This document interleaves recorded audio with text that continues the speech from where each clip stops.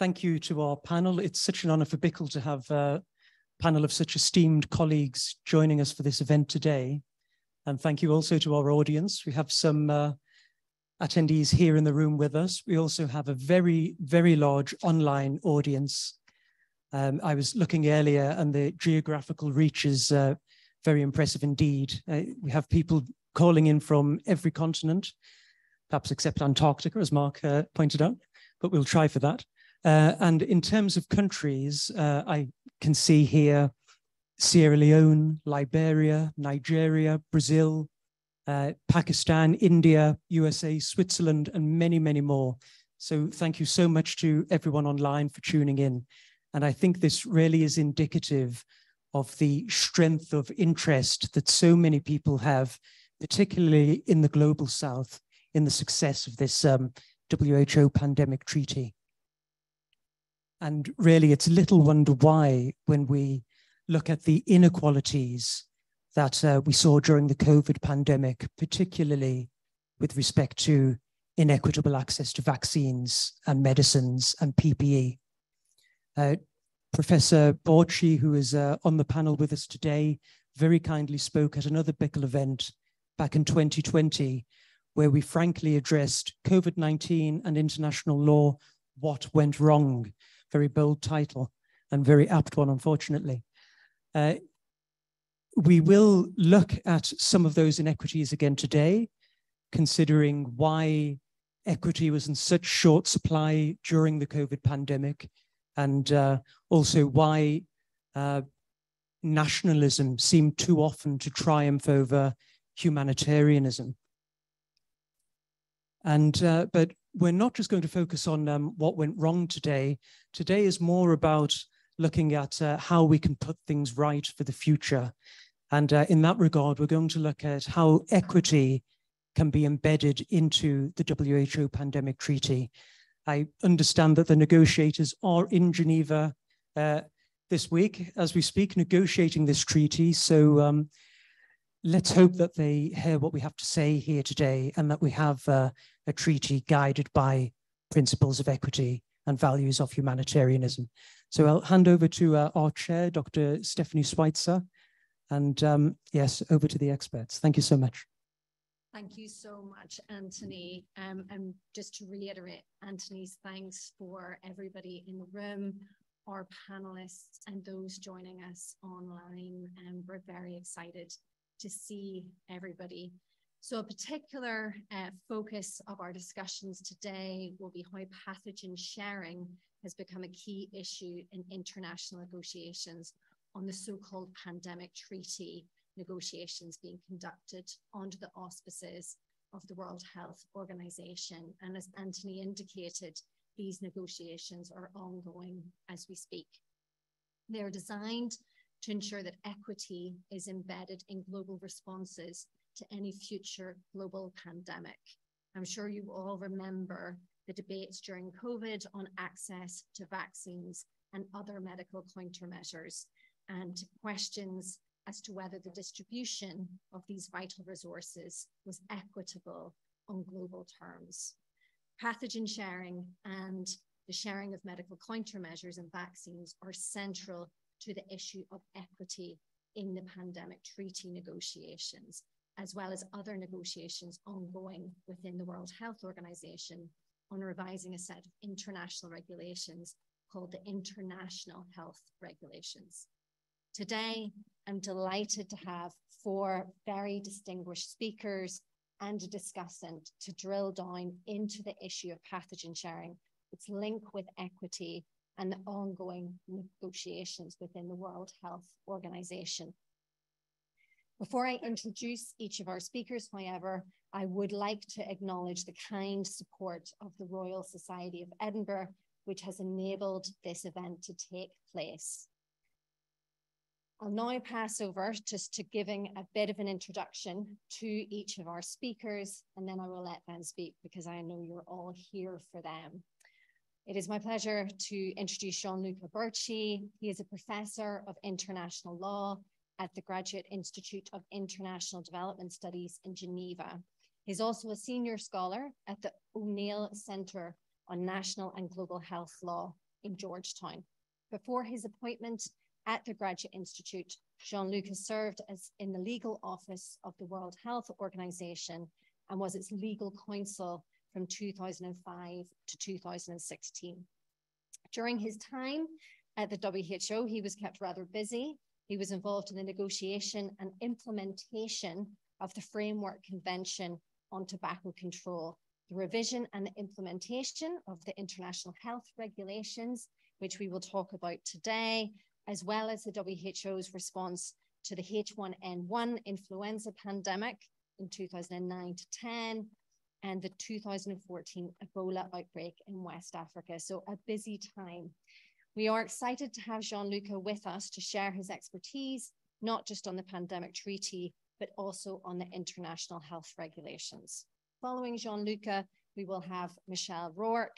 She is a CSIRO Synthetic Biology Future Science Research Fellow at Griffith University's Law Future Centres, where she researches the global regulation of access to genetic resources for Australian synthetic and for the Australian synthetic biology community. In her previous life, she was a captain in the Australian Army, where she worked as a senior scientific research fellow for 10 years. She holds a PhD in international law from Griffiths Law School, and her thesis examined how international access and benefit sharing laws under the Convention on Biological Diversity and the World Health Organization's pandemic influenza preparedness framework impact access to virus samples and associated genetic sequence data, a topic which will be of particular relevance to today's discussions. Following Michelle, we will then turn to Mark Eccleston Turner, who's beside me to my left, looking rather fetching in a Beatles inspired outfit. He is a senior lecturer at King's College London, where he works within the Global Health and Social Medicine Department. He has worked for a number of years on legal issues pertaining to pathogen sharing and is currently finishing a book on legal aspects of pandemic influenza for Oxford University Press. He is an academic fellow of Middle Temple and has worked as a legal consultant to the WHO as well as providing advice to the UK government on issues related to international law and infectious diseases. He holds a PhD from the University of Manchester on legal responses to influenza and is obviously very qualified to speak to us today. Following Mark, we will have Elisa Morgera, one of my colleagues at the University of Strathclyde, where she is a professor and also director of the UKRI funded One Ocean Hub this is a global interdisciplinary research collaboration across the UK, Africa, South Pacific, and the Caribbean, as well as incorporating UN agencies and other international partners, which is pioneering research on human rights and the marine environment to support fair and inclusive decision making for a healthy ocean, whereby people and the planet can flourish. We're looking forward to hearing some of her thoughts and ideas with regards to the application of equity within the pandemic treaty. Following each of their contributions, we will then have a discussant, John Harrington, who is sitting to the far left of me. He is a professor of global health law at the University of Cardiff. He has published a very large body of work in this area and co-directs the Cardiff um, Law and Justice Centre, a research centre at based at Cardiff University. He has a particular interest in the impact of the regimes of global health law on national legal systems, and in particular on the processes by which they are received into developing country jurisdictions. We're very excited to have his thoughts on each of the conversations today. So without much further ado, I'm going to turn to Jean-Luc um, who will be giving a presentation. And I should say, just from a housekeeping perspective, there will be lots of time after for Q&A. Thank you. Thank you, Stephanie. I hope you can hear me. Uh, it's the second time that I'm invited by BICO, so it's quite an honor for me. As, uh, as was recalled earlier, the first one was about what went wrong. And today we hope to talk about what can go right in the next few years as we negotiate these new rules on, on pandemics. Let me um, share my screen. Oh, I hope you can see it.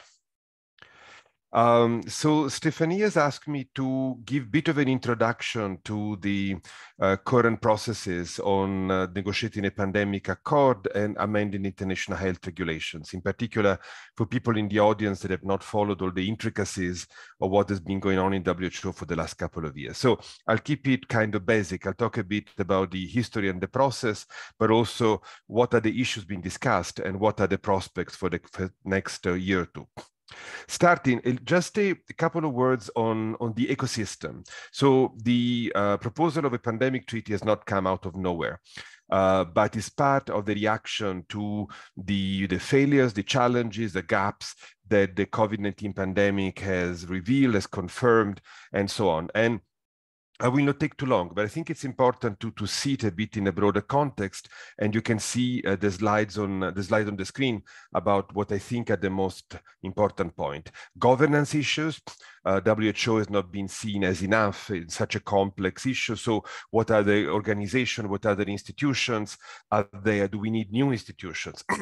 Question of power and control uh, that I think is something that we'll continue to find in the next few years. In particular, the tension between global and politically probably more legitimate organization like WHO versus political clubs like G20, G7, but also interestingly, the role of regional organizations. The European Union, the African Union has been a leader in the question of access to vaccine and the question of uh, better distribution manufacturing capacity. So the regional organization, but with a global reach for the messages.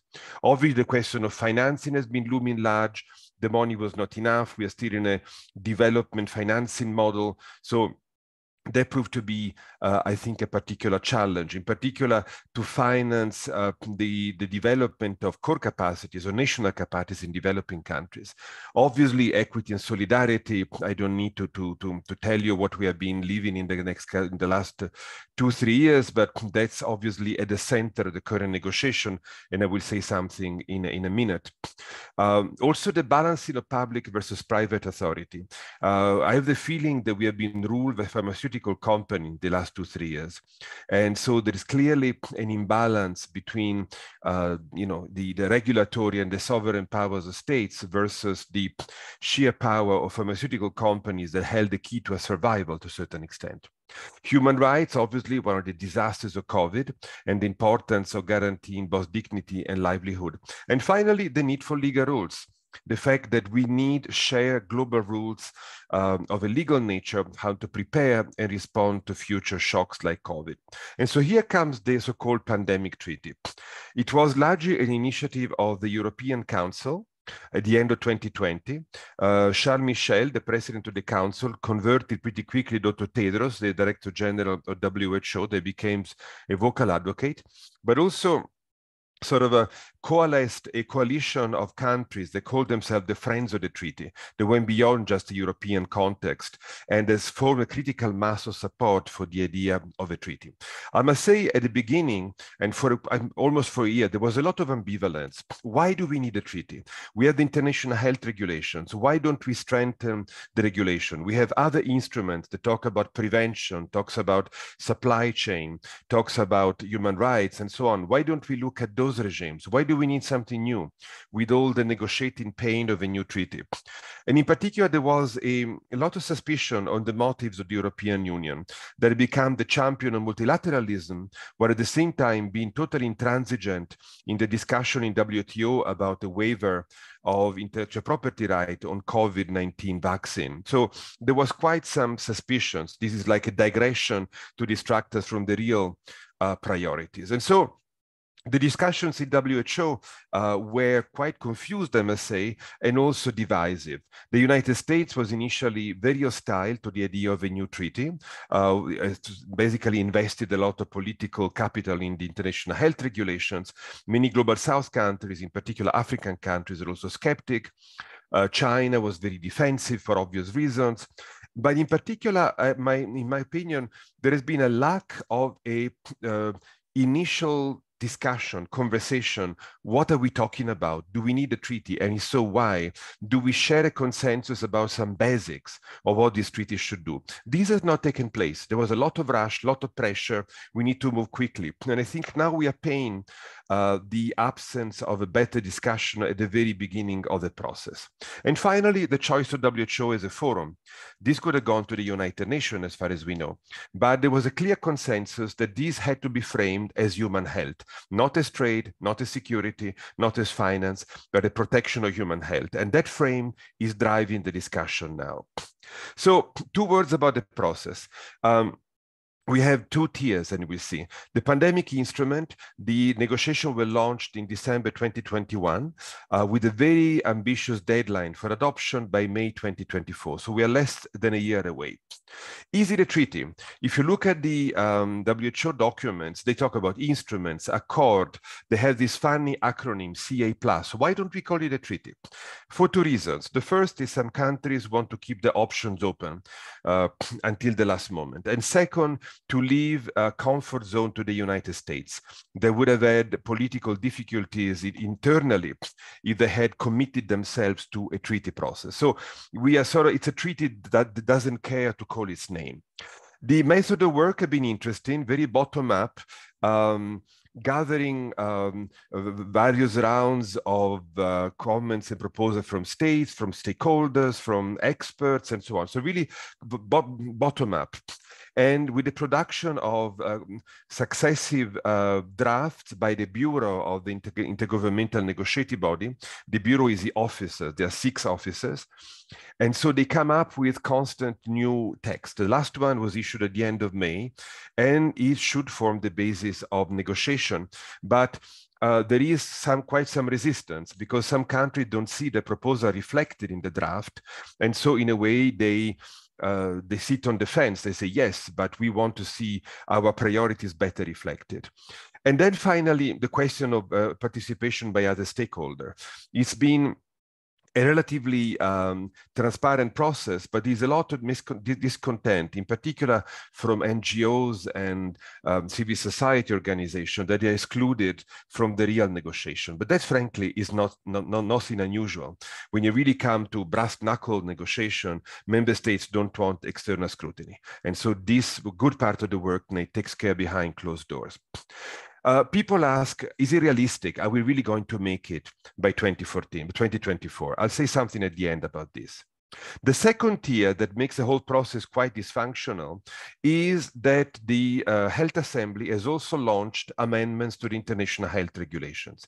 I hope that you are at least superficially familiar with the IHR because I don't have the time to go through it, but basically they're a binding legal instrument grounded in the WHO constitution um, and differently from treaties, they're what we call the opt-out instruments. One is been adopted by the Health Assembly. It, it comes into force for all member states of WHO, except those that opt out. They either reject or subject to, to certain conditions file reservation.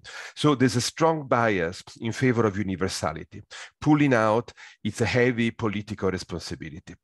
So the uh, why uh, these parallel processes uh, frankly are consuming a lot of energy that was largely a us initiative born out of the initial hostility to the treaty process and basically um, calling the bluff of member states in ignoring the IHR. So the US uh, jump-started this process in early 2022, proposing their own amendments um, that had to be considered by the Health Assembly. So what happened is that there were technical amendments to facilitate the entry into force of future amendments. But in particular, they opened the Pandora box because other member states basically said, why the US and not us? If you have amendments, let's open it to everybody. And so I think that naively, some countries thought that the amendments that would come from other member states would be kind of technical to strengthen what the IHR is about, because it is about preparedness, containment, and detection. Instead, many countries, uh, have 14 countries, but representing more than half of the membership of WHO, propose far-reaching amendments that go way beyond the current scope of the IHR. And uh, some of the main issues, you can see them in the bullet at the bottom of the screen. And so in a way, it created this uh, these, these parallel processes that are quite dysfunctional because you have um, overlapping proposals in both texts. For example, access to medicine, for example, uh, management of intellectual property, for example, the question of One Health, pathogen sharing, and, and so on. So why this overlap. In good part, I think, again, in reaction to the United States, because many countries, in particular the African countries, but also Indonesia, India, Bangladesh, so some of the Asian middle income countries, they knew perfectly well that the US will not ratify anytime soon any treaty. And so basically they they put all their priorities also in the amendments to the IHR, trying to get a deal there, or at least using it as heavy bargaining chips to satisfy the priorities somewhere. And so that has created quite a difficult process because one of the things that um, is keeping my, my diplomatic colleagues awake at night, how to divide the issues, what should go where, are they criteria, are they just political, are they objective, and so on. So it's quite a heavy process with different negotiating modalities because it's negotiating raw text in the IHR, and while negotiating general drafts that come from the Bureau, the INB, in the other process. So it's a difficult, uh, different approaches. And obviously, there's a lot of political positioning and posturing. The United States has become much more engaged in the treaty negotiation. Uh, President Biden appointed a, a senior diplomat uh, heading the negotiation, so that gives you a sense of the political importance also for the US. The European Union has taken quite a divergent approach. They come with really different proposals that compete with some of the uh, of, of those on the table. But also, there are different negotiating tactics. Some some countries say we need to go fast. Otherwise, how do we make it by 2024? Let's start digging in the text. Other countries say, no, we need to understand better uh, position. So as a result, there's not been yet really textual negotiations. And in part, it's, I think, uh, some tactics to create tension until the last moment, to get compromise, to get concessions, um, in particular from global South countries. So, but it's it's quite the, the clock is ticking very loud. So I talked about process and politics and history, but what issues, what are we talking about? So I don't have the time to go in details through uh, the, the, the, various topics and they're not non-exhaustive. Um, but just to give you a sense, he did really cover a broad spectrum of concern from real prevention, in particular One Health, basically how to reduce the risk of uh, zoonotic spillover, of diseases spilling from animals uh, to humans. And that's something driven by environmental problems. The question of health system and core capacities, there has been a major failure, not only from developing countries during COVID. They need to strengthen the mechanism how to start the system of alert. The countries to use due diligence and good faith, giving more power to WHO, even being like kind of policeman. The question of genetic sequencing, pathogen and, and, and benefit sharing, my colleagues will go in depth into it. The question of travel and trade measures that have been a major, major irritant and a major block in the last couple of years. The question of equity, I'll say something about that. So you can see that they go from a response to equity, to preparedness, to prevention, and to governance. They cover quite a broad range of issues. So Equity is at the center of the negotiation. Equity has been presented as a principle and it's difficult to talk against equity, but it's clearly a proxy for political requests from global south countries.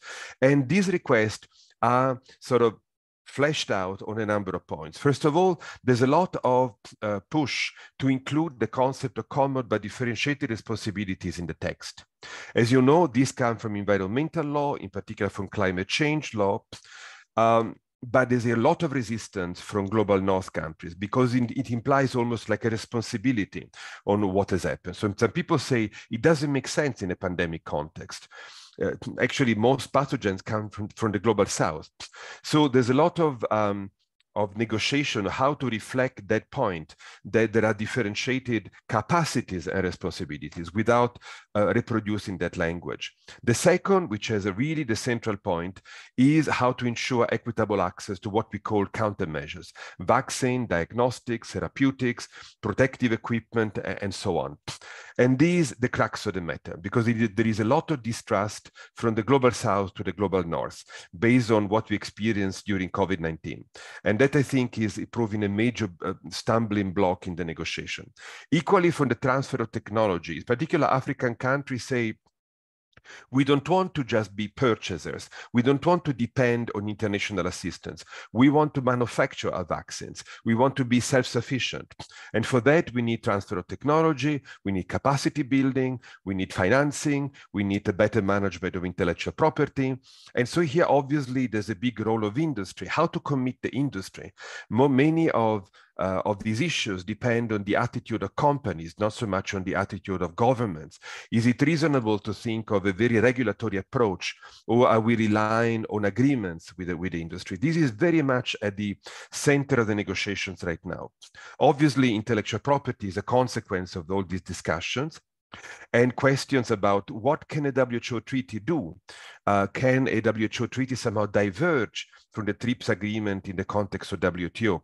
You don't want to create conflicts of obligation. So how can the two go together? Financing again, uh, both for national capacities, but also for what we call global public goods, how to finance research and development, how to finance uh, allocation and purchase of, of countermeasures. Who pays? Who contributes? There is a lot of um, emphasis on national financing. Not everything can depend on the generosity of donors. There has to be something that reflects the investment of each country, regardless of the level of development in pandemic uh, preparedness and response. And why is pathogen and benefit sharing part of this agenda? And again, I don't want to steal the thunder from my colleagues, in good part because many pathogens come from the, from the global south. And so there, is a sense that they have something that the north wants, and they want something in return, which is, again, guarantees of access to medicine and so on and so forth. So they become really part of the central ingredients of the uh, equity agenda. Finally, I leave you with some open questions. The first, again, uh, people are agonizing on this. What are the pros and cons of the treaty versus the IHR? Um, as Stephanie recalled, the INB is meeting this week. The working group on the IHR is meeting next week. And Friday afternoon and Monday morning, we'll have a joint meeting of the two bodies to try to see how they work together, how synergy and complementarity can be implemented more practically. But in my view, there are no metaphysical criteria on how to divide the text. It's a question of effectiveness, political realism, and um, in a way, global public goods versus club goods. I spoke about equity, but obviously, as I said, there are limits to what a treaty can do. Uh, also, from a content point of view, WHO has a mandate on, on, on, human health. You can stretch it a lot, but not infinitely. If you talk about you, um, animal health, environmental problems, uh, intellectual property, supply chain, uh, can WHO regulate all this? How do you bridge WHO and the, the treaty with other regimes, with other institutions like WTO, like FAO, like the Human Rights Institution? This is a topic that, to my knowledge, not really been discussed until now. Human rights are strangely absent from the, from the text of the treaty, to the great chagrin of many civil society organizations. And so there's a lot of discussion on what to do, whether there should be a push to uh, reintroduce human rights language in the treaty, or at least to human rights proof what we have so that the, the implementation will not lead to unnecessary breaches of human rights. And finally, so if you if you take a step back and you oversimplify what is going on, maybe you have two main blocks, two main priorities. Health security, there is a priority for the North. We want pathogens, we want information, we want to make sure that countries do the job in notifying outbreaks. We want to protect ourselves, we want prevention and the global south that wants equity, that wants access to medicine, as I said, financing, transfer of technology, and so on. These are clearly different bottom lines and very visible. So the challenge will be if there is a space for a package deal. And there, there will have to be uh, an element of trust because if the total mistrust, we won't go very far. Finally, what can be the outcome? Um, supposedly everything has to be done by May next year. Some people start blinking. They say, we cannot make it. But there is a reluctance to go into 2025 because of the US elections. If, God forbid, we have a Trump number two or another uh, presidential uh, Republican presidency, the US may pull out, may torpedo the whole thing at the last moment. And so there is a lot of push in finishing the negotiation within 2024, maybe at the end with a separate meeting. So either we have a good outcome in, 20, in May 2024, scenario one, hardly feasible, or we skip to 2025 or the end of the year, or my concern, we need to declare victory somehow. And so having a wishy-washy agreement with the still weak IHR uh, and then with the idea that this is a long-term process that will have to be developed politically and legally by the governance of the treaty and by WHO. I hope this will not materialize, but again, uh, I think that the three scenarios are quite open. Thank you very much for your attention, and I will stop here and I will stop sharing. Thank you very much, Gianluca. That was excellent. Um, I'm now going to ask my colleague, uh, Michelle Rourke, um, to her slides online and begin her presentation. Thank you.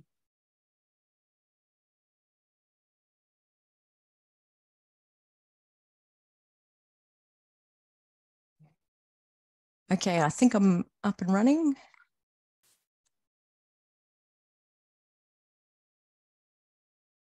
Excellent. Um, okay, so thank you very much to the British Institute of International and Comparative Law for having us here today to talk about this really important uh, issue. Um, before I start, I just want to let you know that I'm speaking from Brisbane in Australia, which is the traditional land of the Yagara and Turrbal peoples. So I just like to acknowledge their stewardship of the land and that sovereignty wasn't ceded. Um, today, I'd like to speak to you about pathogen sharing. So looking um, from a scientific perspective, what it is, um, and, and why it's important. And the other thing that I want to talk to you about is um, some of the scientific infrastructure that goes on um, behind this process. So all of the infrastructure that supports pathogen sharing. Okay, so let's get right back to basics. What are pathogens? Um, so they're essentially any disease causing microorganism like viruses, bacteria, and even prions. Um, there are also plant pathogens and animal pathogens. So when we talk about pathogen sharing, this isn't just a concern of human health, it's also about um, agriculture and animal health. I'll focus on viruses today um, because they're what I know, but also because they're the type of pathogen that's most likely to emerge or re-emerge in humans um, from animal sources, and therefore the most likely to cause the next infectious disease emergency. Um, this is because of how quickly viruses can evolve. And I think one thing that will become pretty obvious in this presentation is that uh, the structure of viruses often determines how they behave and how they evolve, and therefore how we as humans interact with them, not just from a human health perspective, but also on a scientific and regulatory basis. So um, the images here are to give you a sense of what we mean when we say pathogen sharing. Um, we talk about this in the abstract when dealing with the pandemic treaty and the international health regulations. But what it usually means is that um, a clinical sample is taken from a host, so an animal or a human, and the, the blood or sputum or what have you is um, used to uh, for scientists to sort of isolate uh, the, the pathogen itself and make sort of a pure sample of the pathogen that they can then put in a vial and send around the world to their collaborators and colleagues. One thing um, I really would like to emphasize today is uh, that not all microorganisms are pathogenic and that um, different pathogens have different genetic properties that can make them really useful in various biotechnological applications. So um, for food security and biocontrol, for instance, um, you, viruses are really useful. So working on the principle of my enemy of my, the enemy of my enemy is my friend. Um, if you've got a, a, pest species that's infecting a, a crop, um, you can find viruses that or other pathogens that can infect that pest species and use that virus or pathogen to um, then keep the population of the pest species manageable.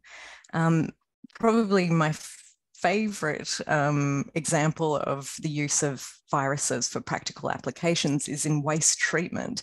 So um, in waste treatment plants, quite often have these foaming events which are, are caused by bacterial overgrowth.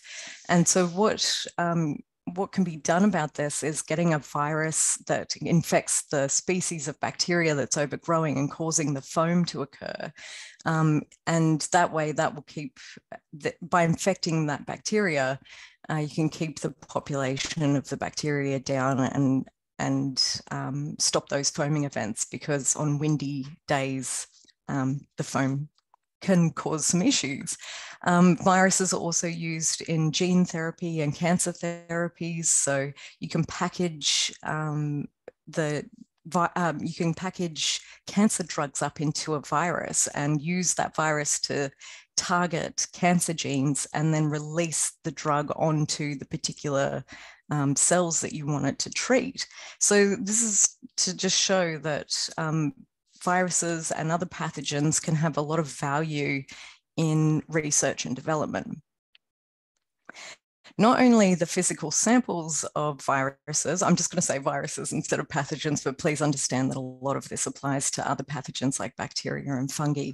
Um, so not just the physical uh, virus samples are valuable, it's also the genetic sequences of um, the virus samples, or what's been called the digital sequence information in the access and benefit sharing space.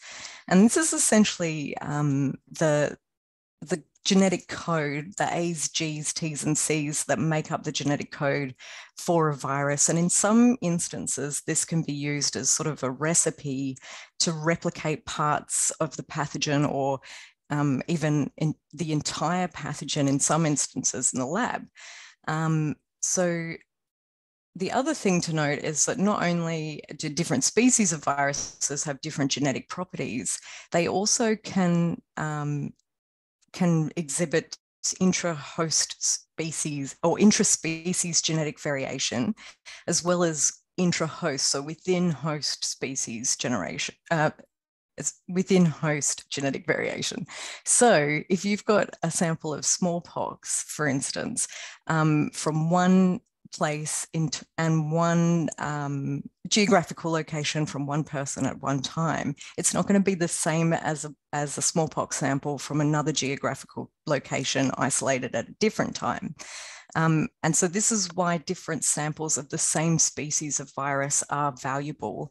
Um, and it's also how you get virus evolution. So in the image, you can see that um, this is representative of the genomes and the various mutations that can accumulate on the genomes.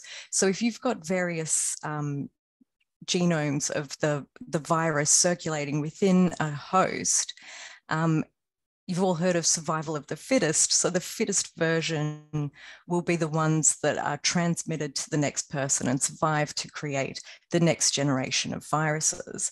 Um, this is why we start to see um, things like uh, variants of concern. So RNA viruses evolve really quickly and there's no proofreading ability. So to demonstrate what I mean by this, we've got everybody's favorite virus, um, the coronavirus.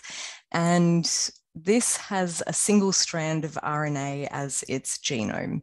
So these are all the genetic, um, the, the genetic language, so the A's, G's, T's, and C's, or U's and C's that make up RNA, which is a sister uh, molecule to DNA. And these accumulate um, mutations over time and will slowly change. And over time, and, and with coronavirus, the COVID 19 pandemic, we had a lot of people being infected over a short period of time. So you get to see virus evolution sort of happening in real time and the splitting off of various um, phylogenies of viruses so that you get new variants created. So alpha, beta, um, delta viruses. Um, and what you can, what this has also demonstrated to everyone is that the different genomes will create different phenotypes. Um, so different behaviors and different characteristics um, in the actual viruses.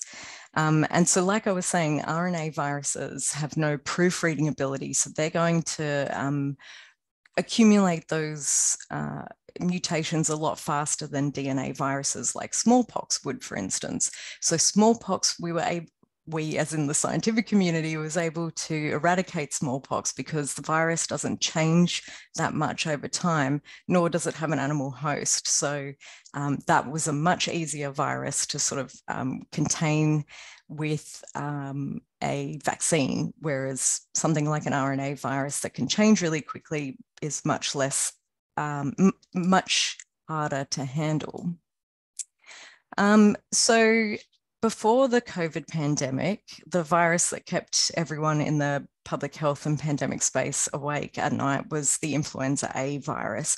And in fact, it's still the virus that most people are concerned about when we talk about um, pandemics. So this has um, an RNA genome as well, but it's a slightly different structure. Um, and like I was saying, structure is what the structure of the virus is quite often what influences our interactions with it. Um, on a scientific and regulatory level. So the influenza A virus has eight segments of RNA. Um, so what can happen is you've got the standard sort of accumulation of mutations that can occur every single year, um, just slow sort of changes that are occurring in the influenza virus that give us our seasonal variants that are occurring year to year. And the reason why the WHO um, has to change their um, vaccine recommendations every year for seasonal influenza. And it's against that background that um, the WHO monitors for changes, bigger changes that could sort of signal that a pandemic strain is, is about to appear. And what can happen when two of the two viruses of the same species infect the one host is you can get um, the virus replicating and creating copies of those eight segments of RNA and then packaging them back up. And it's not particularly careful about which segments that it packages back up. And so it may be taking segments from one virus um, and segments from another virus that make it particularly um, transmissible or virulent in the human population. And perhaps is something that humans haven't seen before. So we're immune, we're um, naive to it. Our immune system is naive, and therefore we're looking for um, sort of new pandemic viruses that can emerge through this process as well.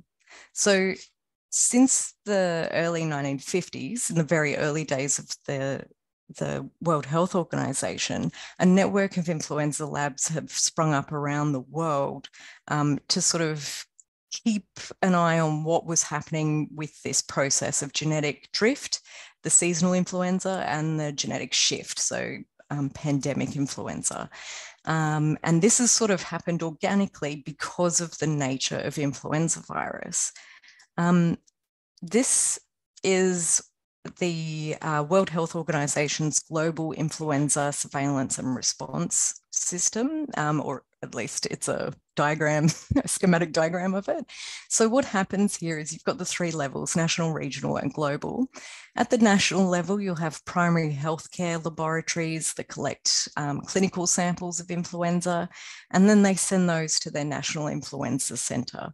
The, National Influenza Centre will look for any viruses that are particularly interesting and will send those to the WHO collaborating centres. So these are regional labs. I think there's seven of them now around the world that are affiliated with the WHO.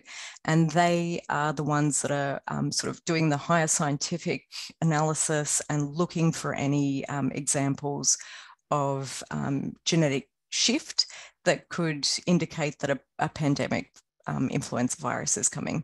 They send um, all of that information to the WHO that also has a panel and makes recommendations on vaccine composition um, every every year for seasonal influenza. And then the vaccine um, candidate viruses are sent from the collaborating center to vaccine manufacturers. So um, this is the way that this has been happening for about um, five decades until 2006, when um, the Indonesian health minister said that they weren't going to share their influenza viruses with the WHO system anymore. Um, and this was particularly worrying because at the time, um, the H5N1 avian influenza viruses that the world was starting to see, um, it looked like in Indonesia they were getting the first cases of human to human transmission. And there was also about a um, 80% case fatality rate in those um, human infections. So things were looking pretty dire, and the world wanted to get a hold of those. Uh, those viruses. But the, the Indonesian health minister, Dr. Siti Supari, said that um, viruses were the sovereign genetic resources of the country of origin under the Convention on Biological Diversity. Um, so this what what uh, Dr. Supari said was that disease affected countries, which are usually developing countries, as Gianluca explained, um, quite often this is the site of emergence of a lot of viruses. Um, they provide their information and their specimens and um, their genetic sequence data to the WHO system. The WHO system then passes all of those resources on to, um, to vaccine manufacturers and other, other companies. They create products use um, the patent system to protect those products and then sell them back to developing countries at unaffordable prices. Um, so by withholding their viruses, they wanted to bring the WHO system into compliance with the UN's Convention on Biological Diversity, which is a widely adopted treaty. It's got 196 parties, um, with the exception of the Holy See and the US. So there was a huge backlash to this action. Um, lots of commentators said that this was morally comprehensible um, and that viral sovereignty was a dangerous folly and that viruses are not the type of genetic resources that the Convention on Biological Diversity sought to protect. But um, as we remember, we already discussed how valuable viruses can be. And just looking at the demand for these viruses in 2006, 2007 in the scientific community, we can see that they did indeed hold value. And, um, and they are the type of um, things that we want to conserve, just not in human bodies necessarily. So um, many countries said that Indonesia had an obligation under the international health regulations to share their viruses. Um, the international health regulations, the revision of this instrument had been adopted in 2005, but it wouldn't enter into force until 2007, um, mid 2007. We're talking about 2006 and 2007. So this instrument wasn't technically applicable to the situation at hand at the time. Um, but even if it was, um, we can see that um, the international health regulations don't explicitly require that countries share pathogen samples. This all just says that they need to share a whole bunch of information. It doesn't even make it clear if countries have to share their pathogen genetic sequence data. So there was a bit of a stalemate, um, and this sort of split very uh, fairly cleanly down the lines of developing countries who wanted transparency in virus sharing and equitable access to affordable vaccines, and um, developed countries who are the sites of uh, vaccine manufacturers who wanted free and unencumbered sample sharing. Um, so this led to about four years of negotiations Um, and the compromise was the PIP framework. So the Pandemic Influenza Preparedness Framework, adopted in 2011, and um, it essentially recognized that states do have sovereign rights over their influenza viruses, um, but that they should be sharing those, um, those viruses with pandemic potential um, on an equal footing with the WHO sharing vaccines and other benefits. So the PIP framework is what's known as a multilateral access and benefit sharing instrument. So um, the first point here, the sharing of H5N1 and other influenza viruses with human pandemic potential, that's the access side of the bargain. And then the benefit sharing side of the bargain is the second part, vaccines and other countermeasures. Um, this was adopted as a non-binding resolution at the World Health Organ uh, at the World Health Assembly, um, and at the time it was praised as being a particularly innovative legal instrument because it turns um, the non-binding provisions of the World Health Assembly into binding uh, the World Health Assembly's resolution into binding um, terms using standard contracts. So there's a standard material transfer agreement um, that covers any transfers from the National Influenza Centre to the World Health Organization's collaborating centres, and then a second one that asks any um, users of those viruses, third party users like vaccine manufacturers and diagnostic manufacturers, to contribute benefits um, to be provided on the next pandemic, um, influenza pandemic, and this is according to their capacities. Um, one thing I should mention is that there's another part of benefit sharing called the partnership contributions, and this is about um, the this is a voluntary contribution that pandemic that uh, vaccine manufacturers make to the World Health Organization um, that amounts to about half the running costs of the global influenza surveillance um, system. And that um, is about enhancing influenza preparedness and response. Um, so this is to show that the PIP framework was structured the way it was because it was essentially just retrofitted to the existing system um, and the lab network that was already available to it. So we've got um, the standard material transfer agreement that's regulating those National Influenza Centre transfers to the collaborating centres, and then anything going to the vaccine manufacturers is under a standard material transfer agreement number two.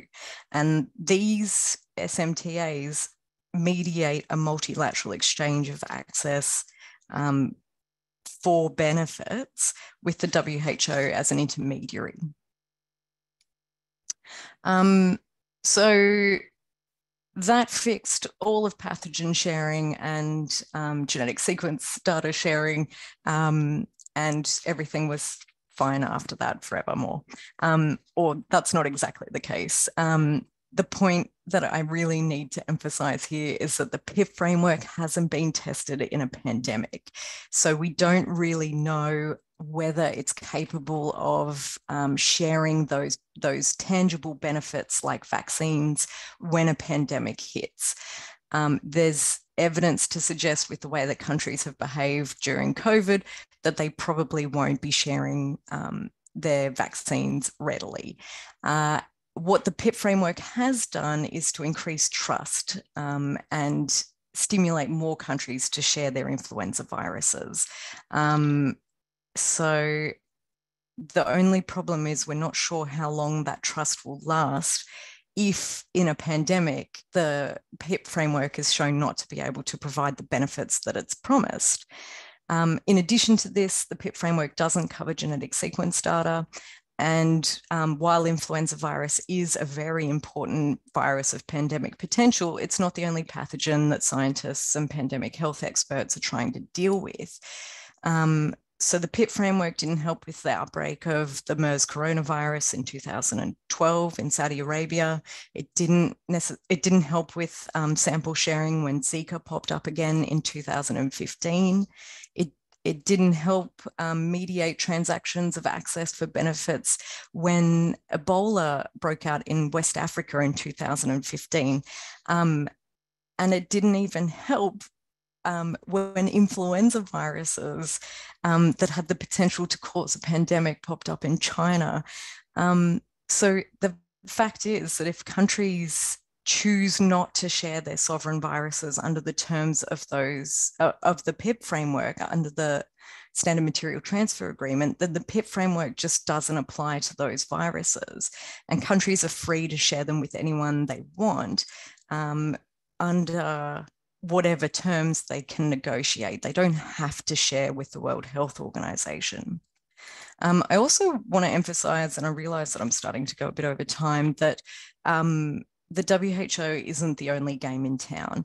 There's other networks of labs sharing microorganisms all the time.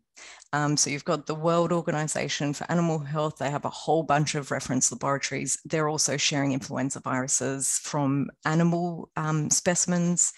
Um, then you've even got uh, the OFFLU system, which is the animal influenza monitoring system of the World Organization for Animal Health and also the UN's agriculture, uh, Food and Agriculture Organization. Um, so they are sharing animal samples um, between their network of international collaborators and also outsiders. Um, so this is all virus sharing that's happening outside of the WHO system and outside of the purview of the PIP framework, even though they're influenza viruses with pandemic potential. Um, there are even transfers of viruses occurring on purely transactional and commercial terms. So um, there are commercial providers of wild type virus that you can get to work on in the lab as well. So sovereign rights aren't really getting a look in in these instances either. And then there was COVID. So China was very quick to share the genetic sequences of um, the virus in the early days of the crisis, but they were pretty reluctant to share any samples. And I'm not aware of any instances where SARS-CoV-2 samples have left China um, unless they were infecting travelers. The COVID situation has created momentum for um, including amendments to the international health regulations on access and benefit sharing. And there's also proposals in the pandemic treaty to include um, a pathogen access and benefit sharing system that uh, looks like it's been the early uh, versions that uh, have come out in the drafts of the pandemic treaty are looking like this system is going to be based very much on the PIP framework, which, as I've stated, is based on um, the particular characteristics of the influenza virus. Um, so that wraps up the pathogen sharing um, sort of tour.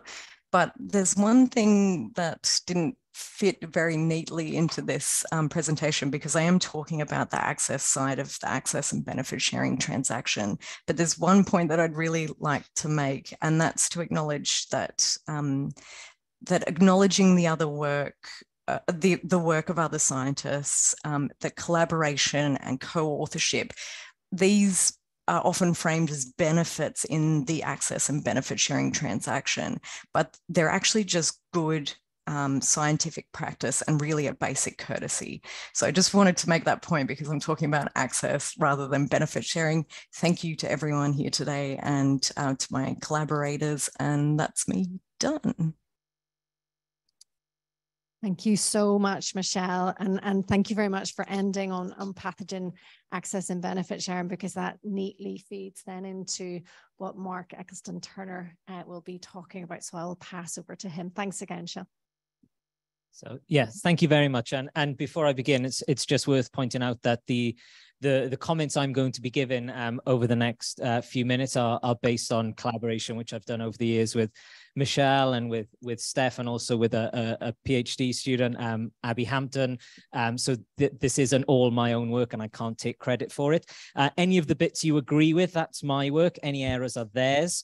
Um, so yeah so as as michelle sort of uh, said at the end there um equity is being very heavily framed within the the context of the the pandemic treaty as being around pathogen access and benefit sharing. Uh, and if we return to that that sort of long list of, of problems we need to solve which uh, gianluca gave in in his talk it's quite a neat solution, right? It solves two of the problems with one go. It solves access to medical countermeasures, particularly in the global south, and it ensures access to pathogen samples for scientific research and development. So it seems like a bit of a win-win. Um, but one thing that, that we argue very strongly is that that pathogen sharing, whether it's bilateral through, through the Convention on Biological Diversity or multilateral through the Pandemic Influenza Preparedness Framework or the Pandemic Treaty, is a transaction. It's an exchange of a pathogen for a benefit.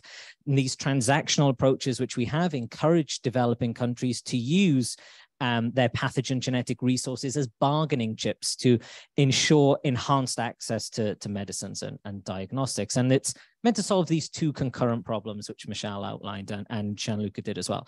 Public health researchers need access to medical, uh, to um, novel pathogen samples on an ongoing basis. And we need to address and redress the, the huge inequity in, in access to medical countermeasures uh, in the, the global south. And what we've seen through countless pandemic events, uh, including COVID-19, is that rich countries dominate access and supply and leave developing countries to fend for themselves. And what we would believe and what, what we've argued um, over a number of years is that access and benefit sharing links these two problems together, but in a way which solves neither one of them. Um, it's important to set out from the beginning that we, we recognize that ABS and the Convention on Biological Diversity was never just about biological convention. It was supposed to deliver fairness and equity. So that language of equity was there right from the beginning and also redress some of the historic injustices in a post-colonial setting. So the CBD really came out of those, those resolutions around the new international economic order from the General Assembly uh, in the 1970s, and it sort of builds on that. But there has historically been huge injustices uh, in these in these in this field. So historically, botanists and natural scientists from the global north traveled to the global south and extracted biological resources, plants and animal species, without seeking permission from the local community or the national government. And they essentially saw biological resources of the global south as public goods.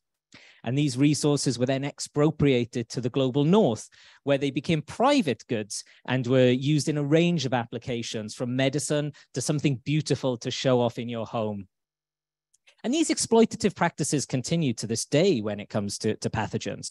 You know, we have very clear recent examples which Shell highlighted in um, public health of H5N1, Ebola in West Africa, Zika and MERS. And in arguing against access and benefit sharing, we don't seek to downplay or minimize the, this exploitation at all, not uh, uh, not at all, but rather to say that the problem which we have framed is the correct one. There is this huge colonial um, injustice which continues to this day. It's just that the solution which we're, we're proposing in ABS is not the right one. Um, ABS has actually done very little to achieve its goals in, in biodiversity conservation or sustainable use of, of biological resources, and it certainly hasn't been able to deliver fair and equitable benefit sharing in environment, international environmental law. And as Shell highlighted in her talk, we certainly haven't seen any evidence of its success in public health. The ABS transaction was a compromise, okay? It was meant to and it is meant to ensure that access to genetic resources occurred using the favored market mechanism of the time, trading your sovereignty um, for access to uh, access to genetic resources in exchange for benefits and goods.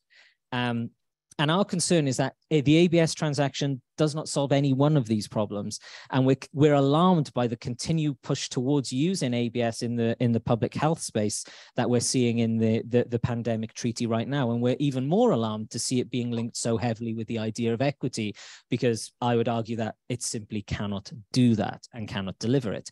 And whether bilateral or multilateral, whether done um, between Indonesia and a private pharmaceutical company or done through the PIP framework or done through the proposals in the pandemic treaty. ABS is a transaction.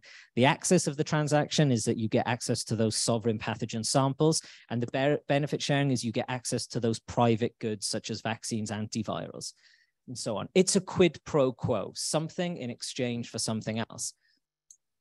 However, there are a number of problems with this being used in the public health space. First of all, is that bilateral access and benefit sharing means that benefits, vaccines, diagnostics, medical countermeasures, life saving tools accrue to those who are best placed to negotiate the agreements for them and not those who will benefit for the most. And they are very often not the same people. While multilateral ABS, such as through PIP and the pandemic treaty, may be better equipped at pooling resources to distribute to nations in need, it's always vulnerable to, to being undermined by nations acting outside of, of these arrangements. And most importantly, the multilateral arrangements which we're proposing don't change the current status quo of high income countries dominating global supply and purchasing as many, far more vaccines than they need for their own populations. Um, what we're talking about here, even if ABS worked, and I would argue it doesn't work and it cannot work under PIP or the pandemic treaty. We're talking about a drop in the ocean of global supply if it worked. We're talking about two and a half percent of, of GSK's ongoing supply being provided to WHO. Two and a half percent to, which is meant to provide vaccines for pretty much all of the global south who are unable to purchase vaccines on their, their own behalf.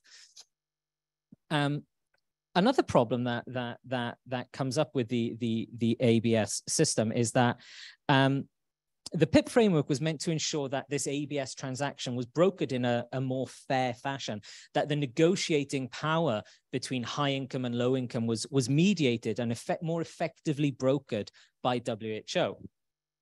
WHO would act as this intermediary party um, to to to regulate the the power dynamics at play here. But the, the, it's very important to remember that WHO is a public health organization. It's not a financial financial clearinghouse. It is not an effective broker of these these arrangements, and it, it can only be seen to provide benefits from a multilateral system in a way that accords with public health need. But for a multilateral system to work, provider parties, governments who are incentivized to put their samples into this new ABS system, want benefits to accrue in return for that exchange. If you are a country and you provide samples into this system, you want to get something back in return. And not only do you want to get something back in return, you need to get something better than if you had negotiated that agreement by yourself multilateral, multilateral ABS cannot provide that. WHO can only promise the possibility of future benefits accruing to you, not a one-to-one exchange of pathogens in exchange for your viral samples. Therefore, the link between the act of providing these samples is too weak to discourage free riding within the systems. Countries can simply elect to not put their samples into the, the WHO ABS system and can still receive benefits in return. So even if you've chosen not to provide samples into this system and you have a public health need, you will get samples back in return. Equally, if you do provide samples into this system, you can't guarantee that you'll get anything back when you are in public health need. If there are other countries with a greater need than yourselves, or there are insufficient vaccines within the system to, to meet your, your need. This destroys the incentives required to ensure that countries are willing to provide samples into the system in the first place, and that the system cannot be undermined by other, other ABS systems like the CBD and the Nagoya Protocol that will cut out WHO as a middleman. And this is one of the fundamental issues of access and benefit sharing is it introduces a market for human pathogens. It introduces the dynamics of supply and demand where they are clearly not needed and are not effective. Some viruses will be common and easily accessible, and therefore their access, their value in an ABS pathogen will be minimal. If you think about the COVID-19 pathogen right now, those are in every country in the world of, of every every version, Delta and Omicron and uh, uh, and so on. They're they're readily available. Therefore, their value is incredibly low. Scientists can access them whenever they want from wherever they want. There are multiple sources. But some viruses will be rare and difficult to access, and their value will be comparatively large, providing that's a pathogen that the scientific community wants access to. And a pathogen, the scarcity of a pathogen that makes it valuable in ABS terms is predicated on that pathogen being contained um, just within one sovereign territory or a small number of nations. And in such instances, there are very limited options available to potential users of those resources. If the pharmaceutical industry wants to do research and development on that novel pathogen, and you are the one country that has that pathogen in situ, you stand a good chance of negotiating a very good agreement for yourself. Securing benefits for your populations, supply of va vaccines in the future, maybe. However, it's a truism of public health that pathogens do not respect borders. And the moment a pathogen of high value in an ABS transaction crosses the territorial border of a nation and begins to spread internationally, that negotiating position is significantly weakened. And this occurred very recently when Zika hit Brazil in 2015. When this happened, um, researchers predominantly in the US and, and Europe were working on very old samples of, of Zika.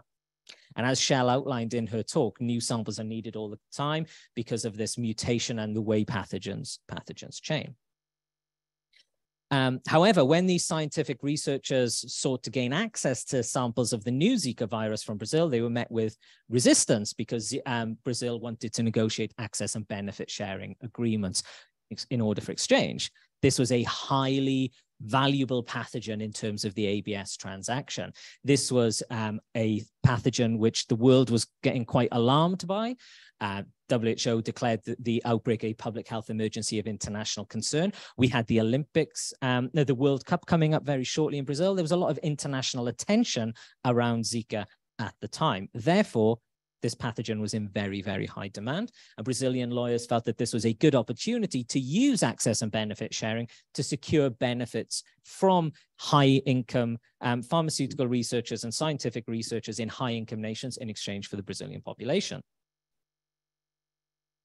As Brazilian lawyers began to negotiate the terms of access and benefit sharing with bodies like the CDC in Atlanta and um, their equivalents uh, in, in Europe, Zika spread from Brazil into Puerto Rico, a US overseas territory. And suddenly, the US pharmaceutical industry and the US CDC had access, ready access to samples and didn't need to negotiate an agreement at all.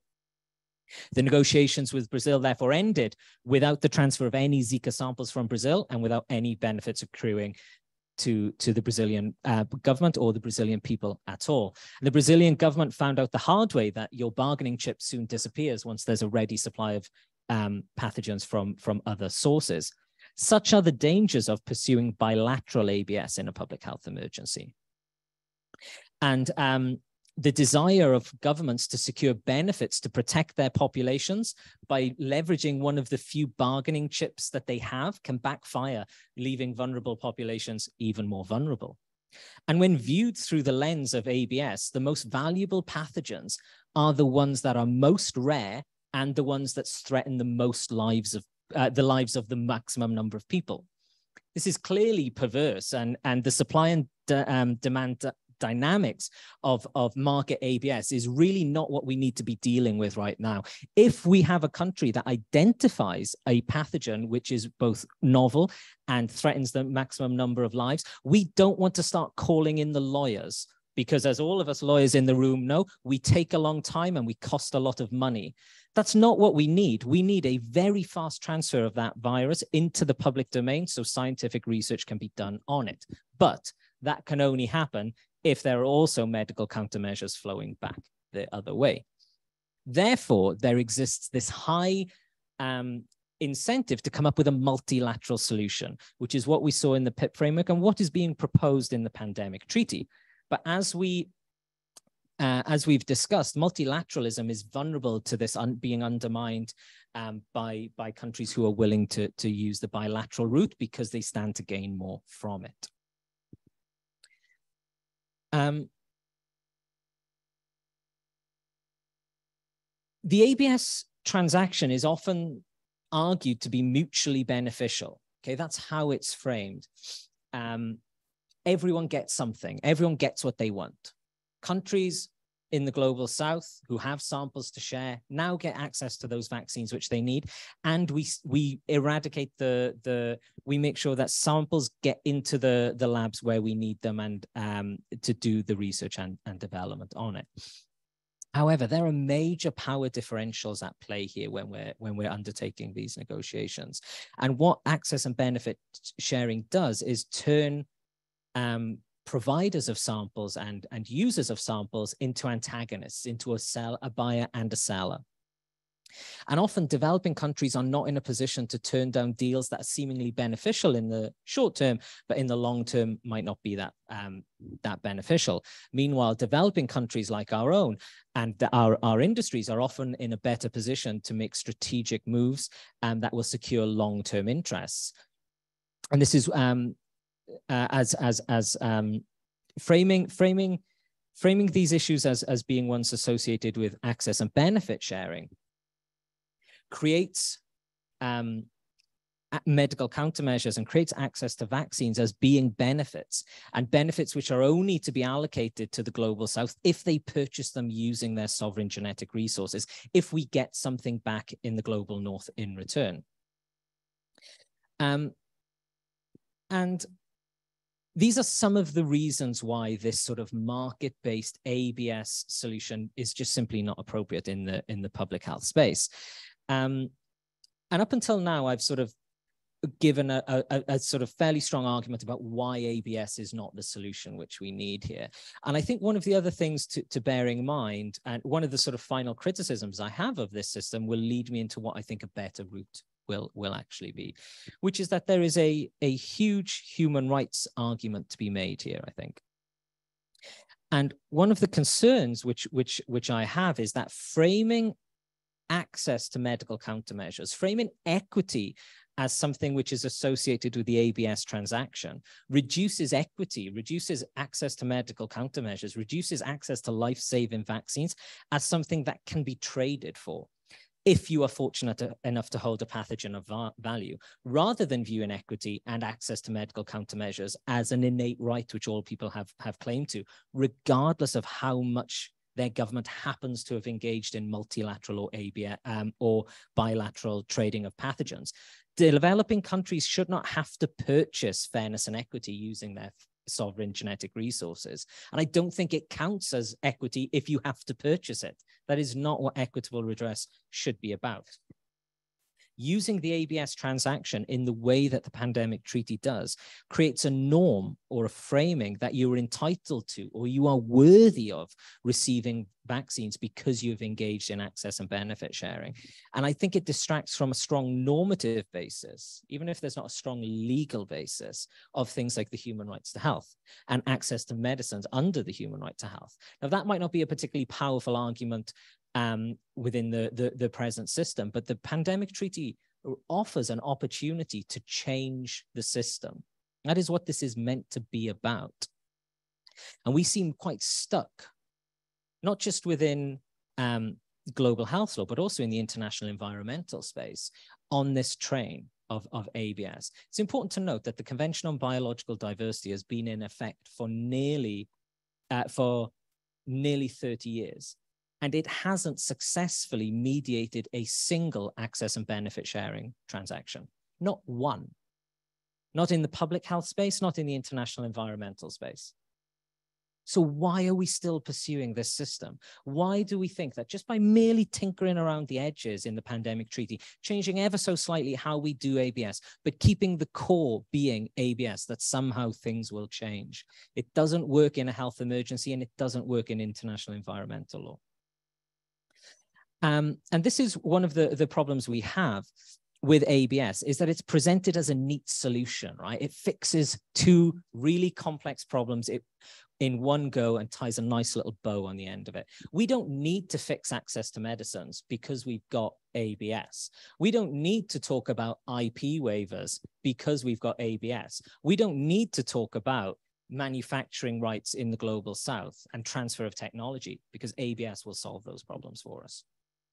But we have no examples from the public health space or the international environmental space of low and middle income countries being able to use their sovereign genetic resources to broker effective benefits. The only examples we have are negative of this system failing. But even if it worked, right? Even if Indonesia um, during during 2005 uh, during 2005 H1N1. Let's say they'd managed to negotiate a really good deal. Think back to those words which Michelle highlighted from from Dr. Supari about how unfair the system was and what they were trying to change. Well, great for Indonesia, But what about Laos? What about Cambodia? What about any country that doesn't neighbor Indonesia but has just as much need for vaccines as, as, as Indonesia does? Under, under bilateral access and benefit sharing, they get nothing. It's an all or nothing game. All the benefits go to the one country that's able to successfully negotiate an agreement in time. And even then, we don't have an example of it being used successfully. Um, therefore, the solution therefore must be multilateralism. But as we've highlighted, multilateralism is a tiny drop in the ocean. It doesn't seem capable of delivering benefits. And even if it could deliver benefits, it would deliver a, a wholly insufficient number of vaccines, a tiny drop in the ocean, whilst we in the global north continue to dominate 99 or 93% of the global supply for a very small part of the global population. That is what we need to fix, and ABS will not fix that. And ABS is presented as if it is the problem to, to the solution to that problem. Um, and we we need to think more creatively about how we solve these two concurrent problems. And I think the first thing we need to do is to go back to the fact that these are two distinct problems that require distinct solutions. ABS, whether it's bilateral or multilateral, creates another space where providers and users are antagonists. They're buyers and sellers, both seeking to maximize their own gains. But this framing ignores the fact that there are mutual interests here. And the whole point of the United Nations system is to encourage cooperation amongst nations who sometimes have disparate agreements and disparate values surely we can start to think outside of the market-based mechanism which we created in the 1980s through this convention on Di biological diversity said. Um, and as as has been noted by by jacob there was and there is a solid normative basis for the expectation that viruses and other pathogens should be shared for the sake of global health. And it's a norm that china upheld to to some extent although for very very different reasons on the one hand, the world is relying on this norm to be able to respond to infectious disease emergencies, while on the other hand, it's undermining the very same norm with the application of ABS policies. This norm of open sharing can be strengthened and it should be strengthened, but it can only be strengthened if developing countries were not made to feel that ABS was their only opportunity to get access to vaccines and antivirals during emergencies. We should be looking to develop these uh, issues and, and developing solutions in parallel with one another merely solving access to, sol- to, to pathogens whilst not fundamentally addressing access to vaccines, vaccine manufacturing, and intellectual property will not solve these problems. But linking the two issues together with a market based mechanism that was designed to address a market failure in biological conservation, which is what ABS actually is, guarantees that neither of these problems um, will be solved, um, no matter how much we want to, to dress it up as, as a form of equity in the pandemic treaty. Um, and I'll leave it there. Thank you. Thank you very much, Mark. Um, I'm now going to turn to my colleague, Elisa Morgera, um, who will now um, be the last uh, speaker uh, before we turn to the discussant. So thanks, Elisa.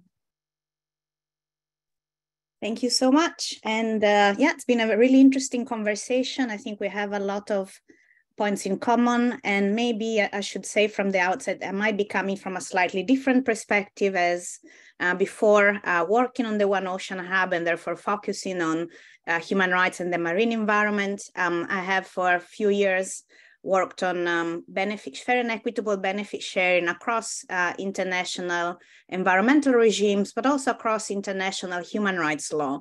And so maybe uh, what I would like to do is share a few of the findings from my earlier research on fair and equitable benefit sharing, which are still relevant uh, for the ongoing WHO negotiations. Um, then share some of the learning uh, from addressing equity issues, including certain forms of fair and equitable benefit sharing under the One Ocean Hub as a direct experience as part of a research collaboration and then finally um, uh, collect some thoughts about where I think that still engaging with fair and equitable benefit sharing as opposed to ABS as such uh, can be uh, a potentially viable, if not transformative way forward um, for the WHO negotiations. And so maybe before I start, I mean, just to kind of maybe slightly differentiate the points I will make from what the previous presenter just said, I think in my mind, it is important to keep some distinctions um, quite uh, at, the, at the forefront. I mean, the first is that while the Convention on Biological Diversity has so far been interpreted and to some extent applied as um, supporting a bilateral approach to access and benefit sharing from genetic resources, this is not the only way in which it can be interpreted and applied. And in fact, the convention does not preclude a multilateral approach to access and benefit sharing. And we see that in the Nagoya Protocol on access and benefit sharing, we do have a provision that opens up a potential uh, new pathway towards multilateral ABS, even if that path has not yet been taken uh, by parties to the Nagoya Protocol. But the truth is that uh, on the basis of that um, lessons learned in the failures that have been mentioned of the current approach to bilateral ABS, uh, the interest in multilateral approaches, be that under the CBD or the Nagoya Protocol, not just for genetic resources, but also for digital sequence information, I think has become uh, an area of growing interest. Uh, the second point is that um, I would not equate uh, access and benefit sharing as a shorthand for access and benefit sharing approaches and mechanisms with fair and equitable benefit sharing, which across my research I've come to understand as a general principle of international law, as self-standing from access and, access and benefit sharing, even if in the context of the CBD and other international environmental regimes, and also in the law of the sea, we might see it as very often, if not almost paradigmatically linked to access. But even if we read the CBD text, at the start, we see that access is a precondition for fair and equitable benefit sharing. It can also be seen as, as a benefit. Uh, but the point is that the two are not necessarily linked. And while we have treaty provisions and other sources in international law that provide for ABS mechanisms, we find a broader notion of fair and equitable benefit sharing across other areas of international law. And I think in particular, the reliance on fair and equitable benefit sharing in international human rights law, I think is quite enlightening in thinking about alternative interpretations of um, fair and equitable benefit sharing, even in the context of those ABS regimes where surely a dominant um, uh, transactional approach has been taken so far. But, but to my mind, that is not a given. It's not the only way to interpret those provisions.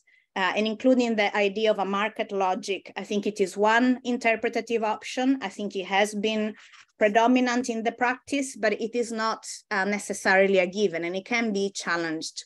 Um, and in fact, it can be given a whole other meaning, particularly if we think across in terms of global benefits, um, deeper forms of international cooperation, which are needed to address challenges such as those of global pandemics, but also global biodiversity loss and other global challenges. So I'll start sharing some more specific findings from my research that actually focus on multilateral benefit sharing mechanisms, uh, partly because, um, as has been mentioned, we do not have a very good track record of bilateral uh, benefit sharing approaches. And we also I think for the purposes of the WHO negotiations, looking into bilateral, I don't think it's a relevant point. So what, while I'll agree with um, colleagues that have mentioned before that we do not have yet a fully functional multilateral uh, benefit sharing system uh, across the law of the sea, international biodiversity law, uh, even if we consider the WHO PIP framework, which however has a lot going for it in terms of positive approaches, and a very brand new international instrument under the law of the sea or my, on marine biodiversity of areas beyond national jurisdiction. We have learned a lot around how to devise, how to um, shape treaty provisions, um, international provisions on uh, um, benefit sharing mechanisms that take a multilateral approach. And while um, there are certain limitations that have been recurrent, I think there is a lot, um, also a lot of lessons learned. And it is interesting to see how those, uh, all these international mechanisms have evolved and responded to uh, those limitations, at least to some extent. Um, and I think it is important when, when we think about benefit sharing to divide up the discussion, I think about accruing benefits and distributing benefits. Um, and that, you know, that really speaks very much to who are the users? Are they already uh, part of pre-existing networks? Uh, as Michelle was saying earlier, we have really important pre-existing practices and ongoing practices of sharing um, benefits, sharing um, um, pathogens, and we need to be aware about who is developing and accessing what, and what are the lessons learned there, but also what are the power imbalances. Um, across all these different uh, international benefit sharing mechanisms, we have one, I think, of the recurrent challenge is how to ensure the financial viability of the system, even if we expect finance to be uh, gathered and produced by those mechanisms, that has maybe turned out to be one of the most challenging assumptions. And in fact, at the moment, all international uh, multilateral benefit sharing mechanisms rely in some way or other on uh, um, voluntary contributions. And maybe only the WHO framework is a system where we have come up with that annual partnership contribution that moves away from otherwise relying only on governments, um, uh, you know, in their in their um, in their uh, activities as donors. Um, on the distribution of benefits, I think we have learned a lot about not assuming that uh, all sharing of benefits would necessarily contribute to equity, we've also seen the, the importance of having a multilateral uh, institution that at least looks at where there are gaps, where there are recurrent limitations, where inequities are arising and for whom, and trying to respond to those issues. And across all these four multilateral benefit sharing mechanisms, we see how increasingly uh, multilateral bodies take and are asked to take a brokering role and, um, and a multilateral review role to understand how to best ensure that everyone can truly uh, benefit from a sharing of benefits, that we don't leave gaps. And in fact, we learn from uh, lessons moving forward and, and uh, um, significantly improve, sometimes with small changes, sometimes with more significant ones, how we can um, make the system achieve equity at the, at the stage of uh, distributing benefits. I mean, of course, there's a lot of detail here, but this is just to give a, a broad overview. But I guess the key point for my own research on this has been that it is really important to uh, discuss openly the assumptions around fairness and equity.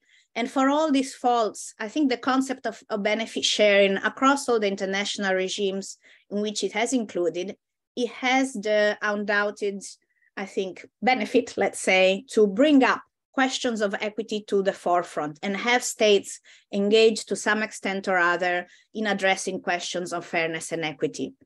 Now, to my mind, having looked at many interpretative materials across international law, um, I think maybe the most interesting um, uh, interpretation that I find also particularly emerging both in international biodiversity law and international human rights law is that idea of basically upsetting current um, uh, um, power imbalances and really looking at the agency, the active participation of beneficiaries in the identification of benefits and sharing modalities, even if, as we know, a lot of it then ultimately depends on the choices of donor countries.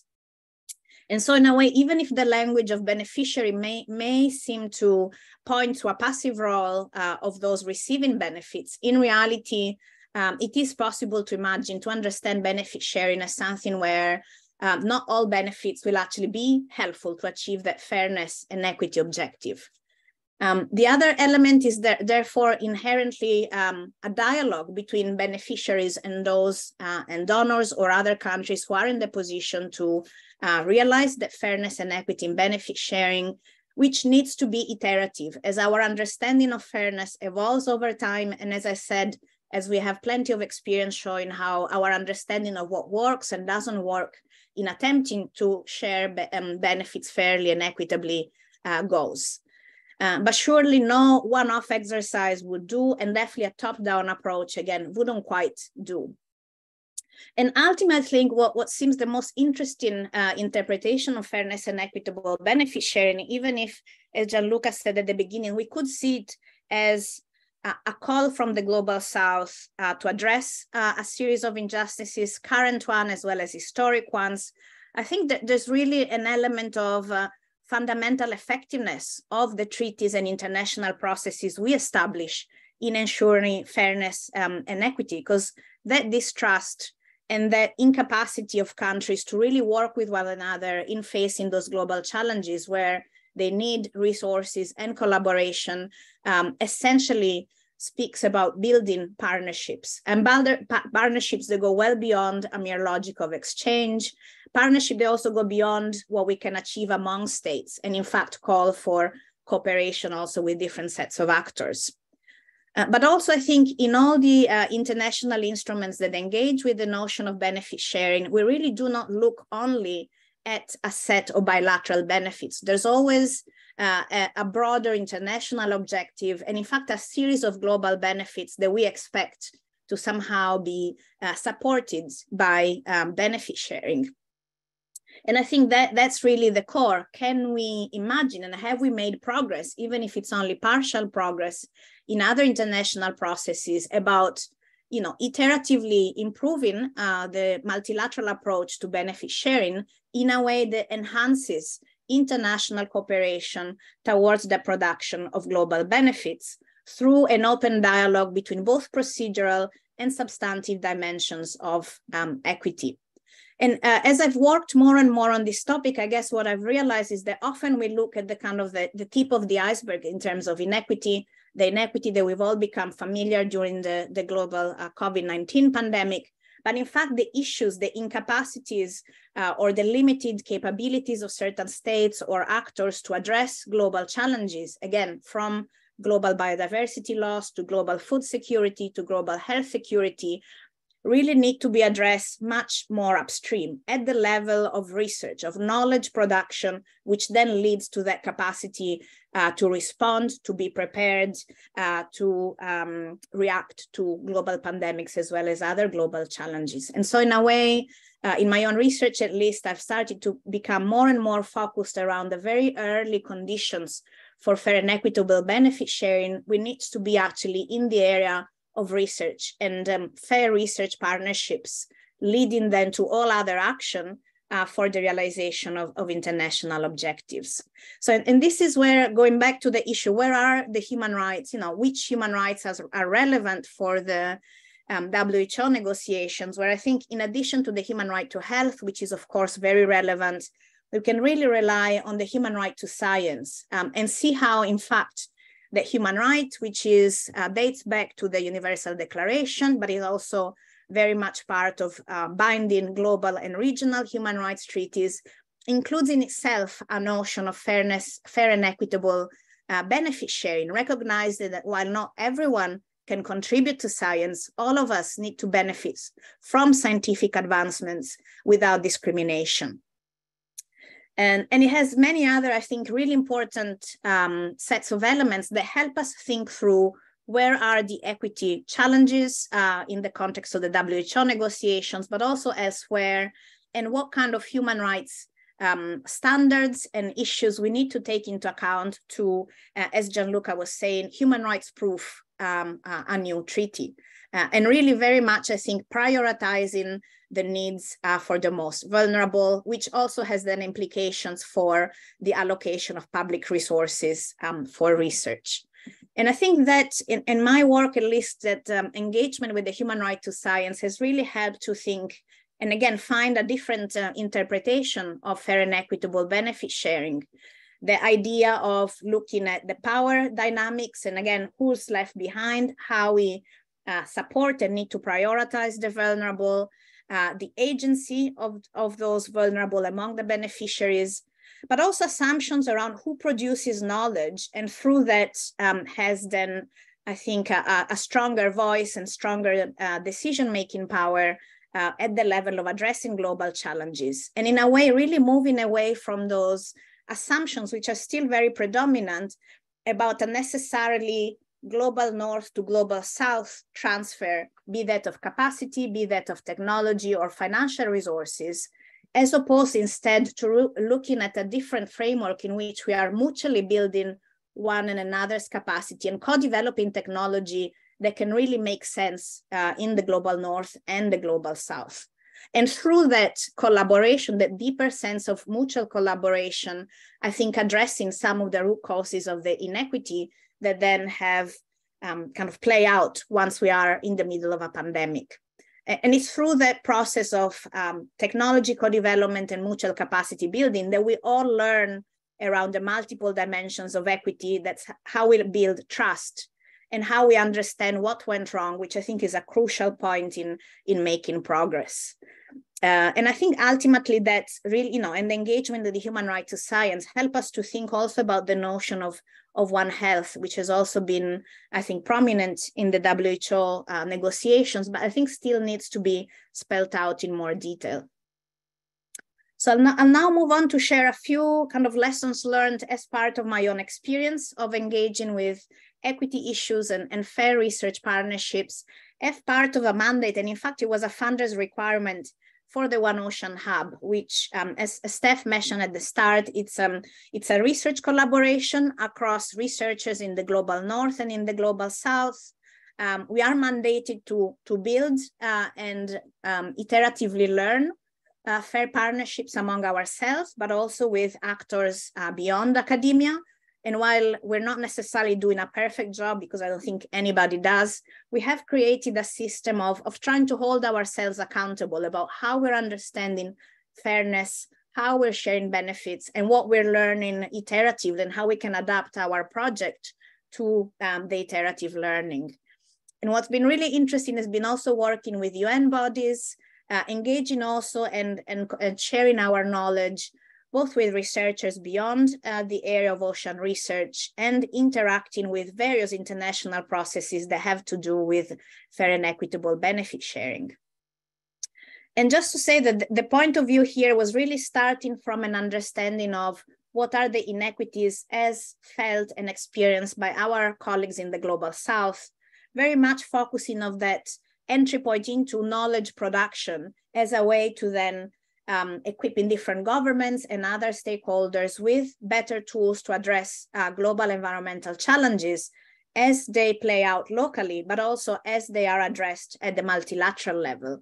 And fundamentally, uh, the message that we received from our colleagues and our own reflection has been that point of fair research partnerships, really going from co-identifying problems, co-developing an approach, um, giving fair credit where, where it's due, but really continuing the learning um, from planning stage throughout and adapting to that learning and, and developing a capacity to um, learning from one another about those challenges, but also what things seem to work in our partnerships. So how does the experience of researchers um, still um, geared towards uh, contributing to sustainable development speak to WHO negotiations? I think it has really helped me think through this idea of transformative change that we know is needed to address global biodiversity challenges, but I think also all aspects of the sustainable development agenda. How do we shift away from that alluring idea of fixes? And how do we find solutions that have sustainable impacts across scales and sectors, which I think a, a WHO pandemic treaty might be able to do.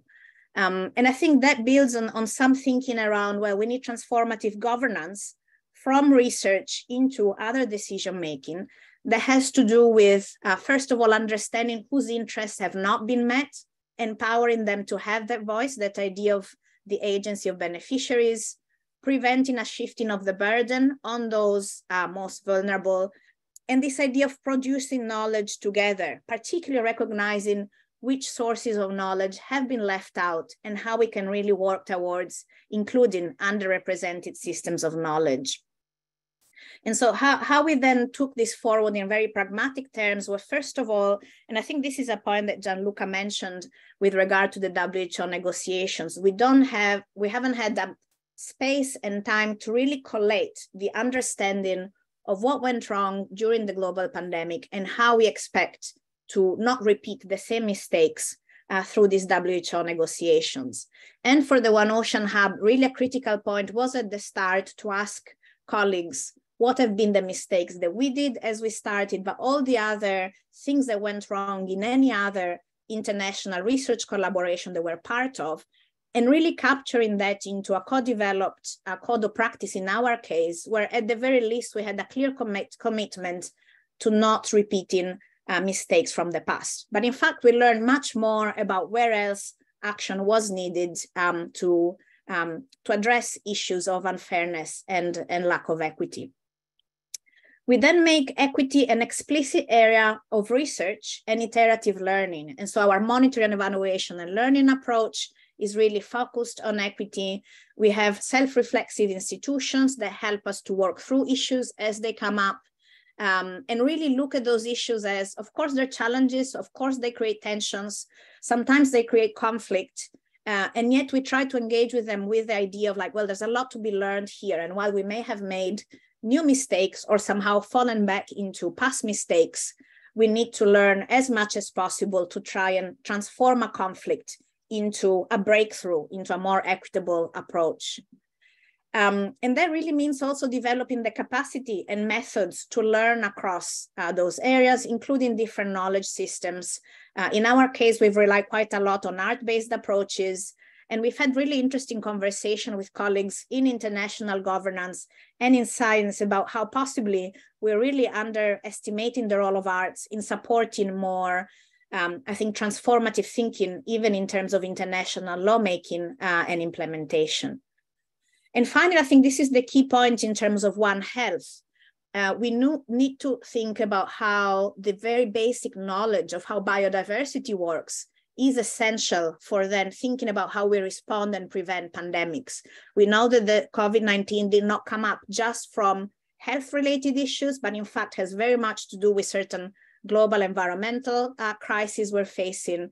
And so that idea of engaging with biodiversity science and scientists from the fundamental biodiversity research, which explains how life works, how life forms diversify on Earth, to biodiscovery, which is the more maybe advanced uh, down the line form of, of knowledge production related to developing the COVID test or developing vaccines, all of the chain of knowledge production, uh, we need to understand how it interacts with then global governance, be that global health governance, but also how global health governance may impact or be impacting by global uh, biodiversity governance. And that's where the question that um, Gianluca raised about the role of WHO is really crucial. It, we can't expect WHO to regulate the whole biodiversity science and biodiversity governance space, but we need an institution that can is willing and open to engage and find new creative arrangements, I think through regime interaction with other UN bodies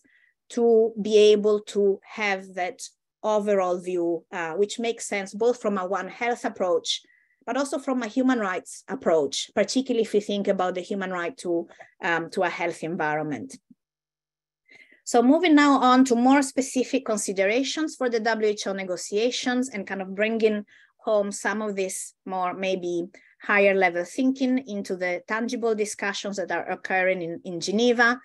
I think this, the, the key point maybe taking a step back is, uh, can we develop through those negotiations a system of enhanced international cooperation, moving beyond uh, transactional processes, which clearly have created a lot of mistrust and also clearly do not work, to uh, maximize global benefits and really thinking about global benefits at, at the outset. And I think for that perspective, the last point around One Health and thinking fully about the biodiversity health, health nexus is essential. Um, at the moment, as far as I understand from colleagues, the One Health negotiations are really focused on particularly on infectious diseases and particularly on terrestrial based diseases. Um, but this should not really limit the scope and the thinking behind the WHO negotiations. We need to think about the environmental drivers of pandemic risks, but also the environmental opportunities to provide responses and really include marine biodiversity. I think one of the, when the penny dropped for me was when there was a media release around the fact that one of the uh, COVID-19 tests had been based, had been developed on the basis of marine genetic resources. And that just shows very clearly to me the importance, the essential importance of thinking across the broad notion of biodiversity science into biodiversity and health governance.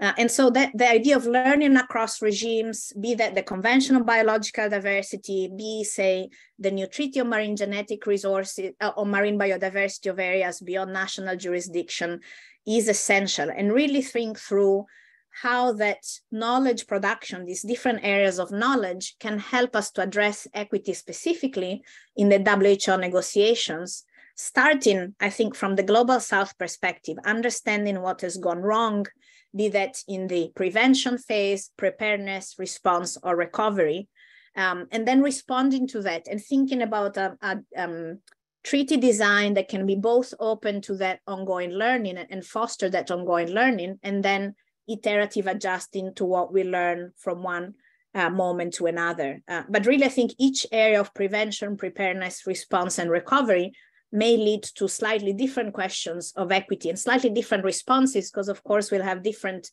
time pressures. And I think the effort or that need for fast responses may be truer in some phases, but not others. And again, thinking through these issues in human rights terms, I think the interface between the human right to health the human right to science and human rights to a healthy environment can help us um, think through those issues, not just in um, ethical terms, but in fact, in legally binding terms. So then, uh, Elisa, I'm very sorry, but we're very much sort of coming towards the end. If, if it would be possible just to wrap it up, the, the yes, yeah, no, sorry about that. Um, so yeah, so just very quickly, I think it's helpful to then think about fair and equitable benefit sharing as a principle separate from necessarily an ABS approach and thinking about the different roles of states and their obligations to create preconditions and support for fair and equitable accruing of benefits, which I think includes necessarily an obligation to create obligations to create requirements for publicly funded research as well as oversight and, and regulation of private bodies. We have an opportunity in developing a new SMTA or a contract-like system to really think about a mix of benefits, not just limiting to um, accruing, for instance, the um, access to uh, countermeasures, uh, but also thinking about those needs for fair scientific collaboration, which can then really build the capacity for prepare, pre prevention and preparedness in the global south um, and really thinking about the role of the private sector and how we can guide that role through those contractual obligations. Um, and finally, thinking about the role of WHO and potentially new international bodies that might be created through the WHO um, negotiations in terms of distribution of benefits, supporting co-identification of responses, uh, co-development of sharing modalities, brokering, uh, and very much shaping that understanding of fair partnerships for global benefits that I think can only come from a multilateral place, but a multilateral place where we move towards participatory governance, where we make specific space for non-state actors, different communities with different knowledge systems uh, across that biodiversity science to biodiversity health governance framework um, to help co-develop solutions in an iterative manner as part of um, a treaty design.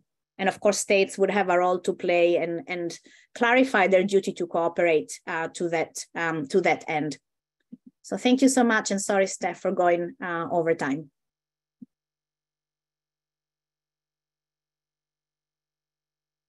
Um, thank you very much. Um, first of all, thank I'm John Harrington. I'm the discussant, and it's a privilege to be here and to respond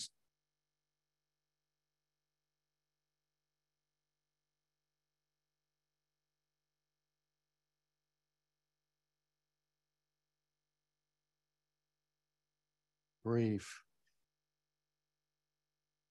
Involve, I think, a, a, what they've said in context uh, in a longer context.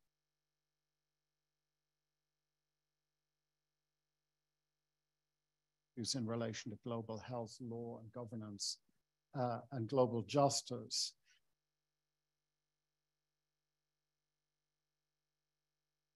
I think what all of the presenters are showing us, uh, as we know, is that uh, COVID was a crisis, has been a crisis for the global health order, for global health law. That's something.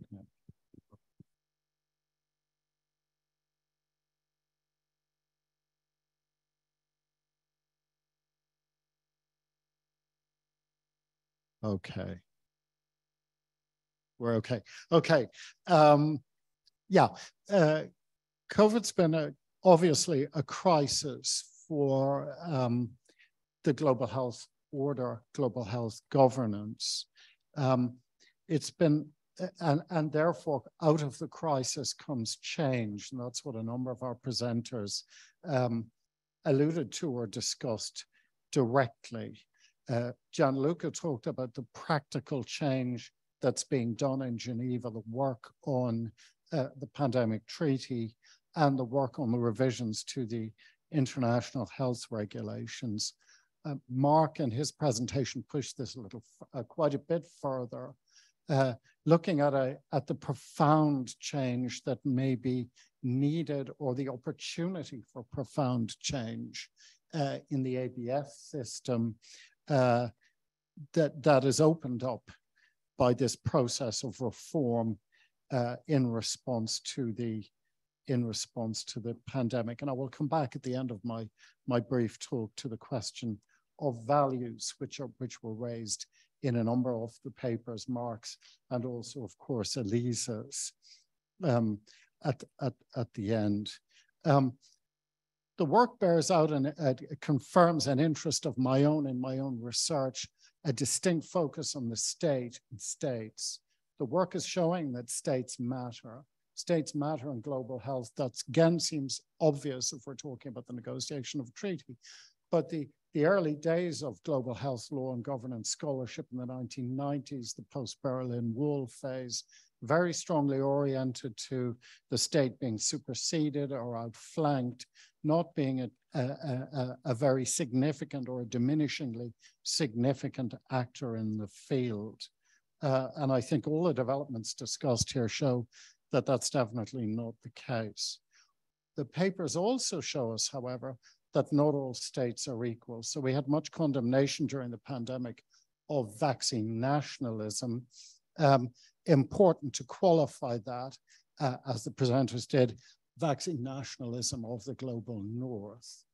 Uh, and so it's worth exploring the nationalisms of the global south.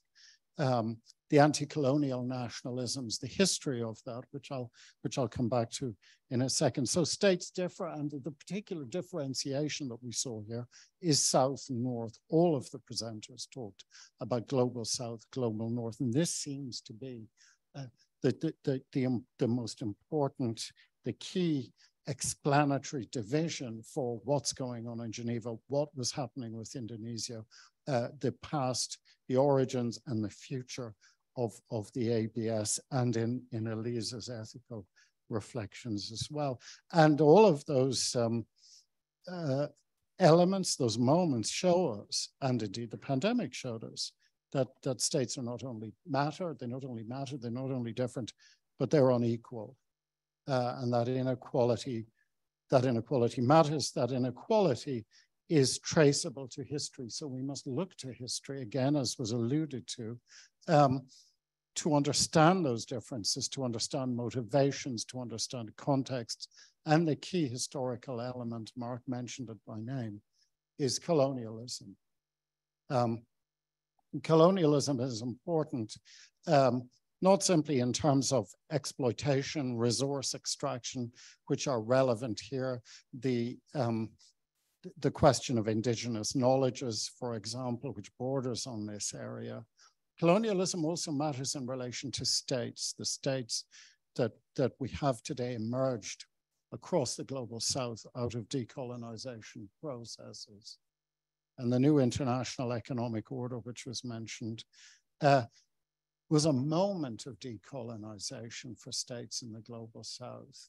Uh, an attempt to exercise sovereignty over resources, an attempt to reshape the global system through the United Nations, an attempt which ultimately failed, which was defeated actively by the states of the global north, uh, which, which, which uh, as I've argued in a recent paper, uh, involved disciplining those global south states, uh, imposing financial discipline, imposing accountability and benchmarks, limiting those states, uh, putting security limits on them, policing failed states, and, and so on and so forth.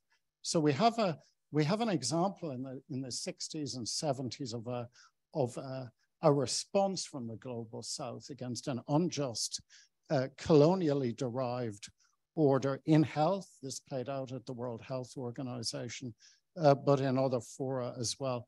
Uh, uh, an attempt which was defeated and which led to the patterns of global health governance, I would argue, that I mentioned, that I mentioned earlier.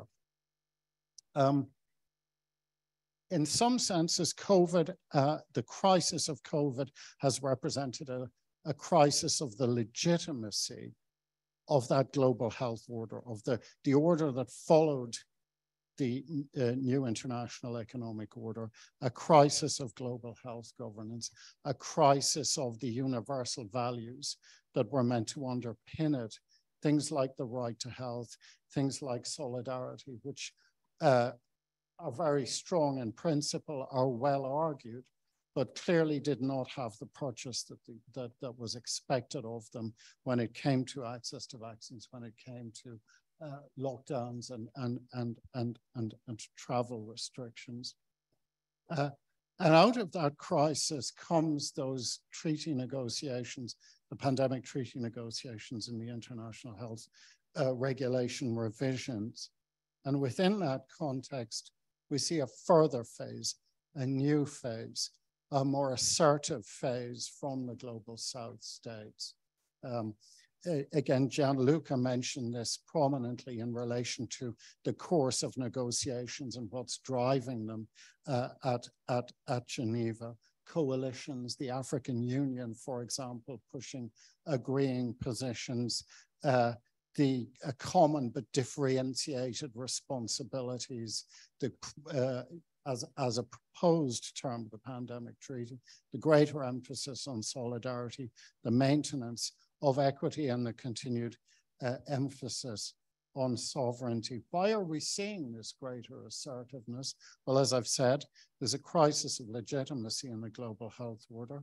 There is an element of returning to the new international economic order. There are wider trends like the move away from uh, a unipolar order of the post uh, post Cold War phase, where the United States were dominant, global South states have more options. Intellectual currents like the decolonize movement have got us all thinking, uh, but particularly people in and from global South states about these unfairnesses that we that we have been discussing today.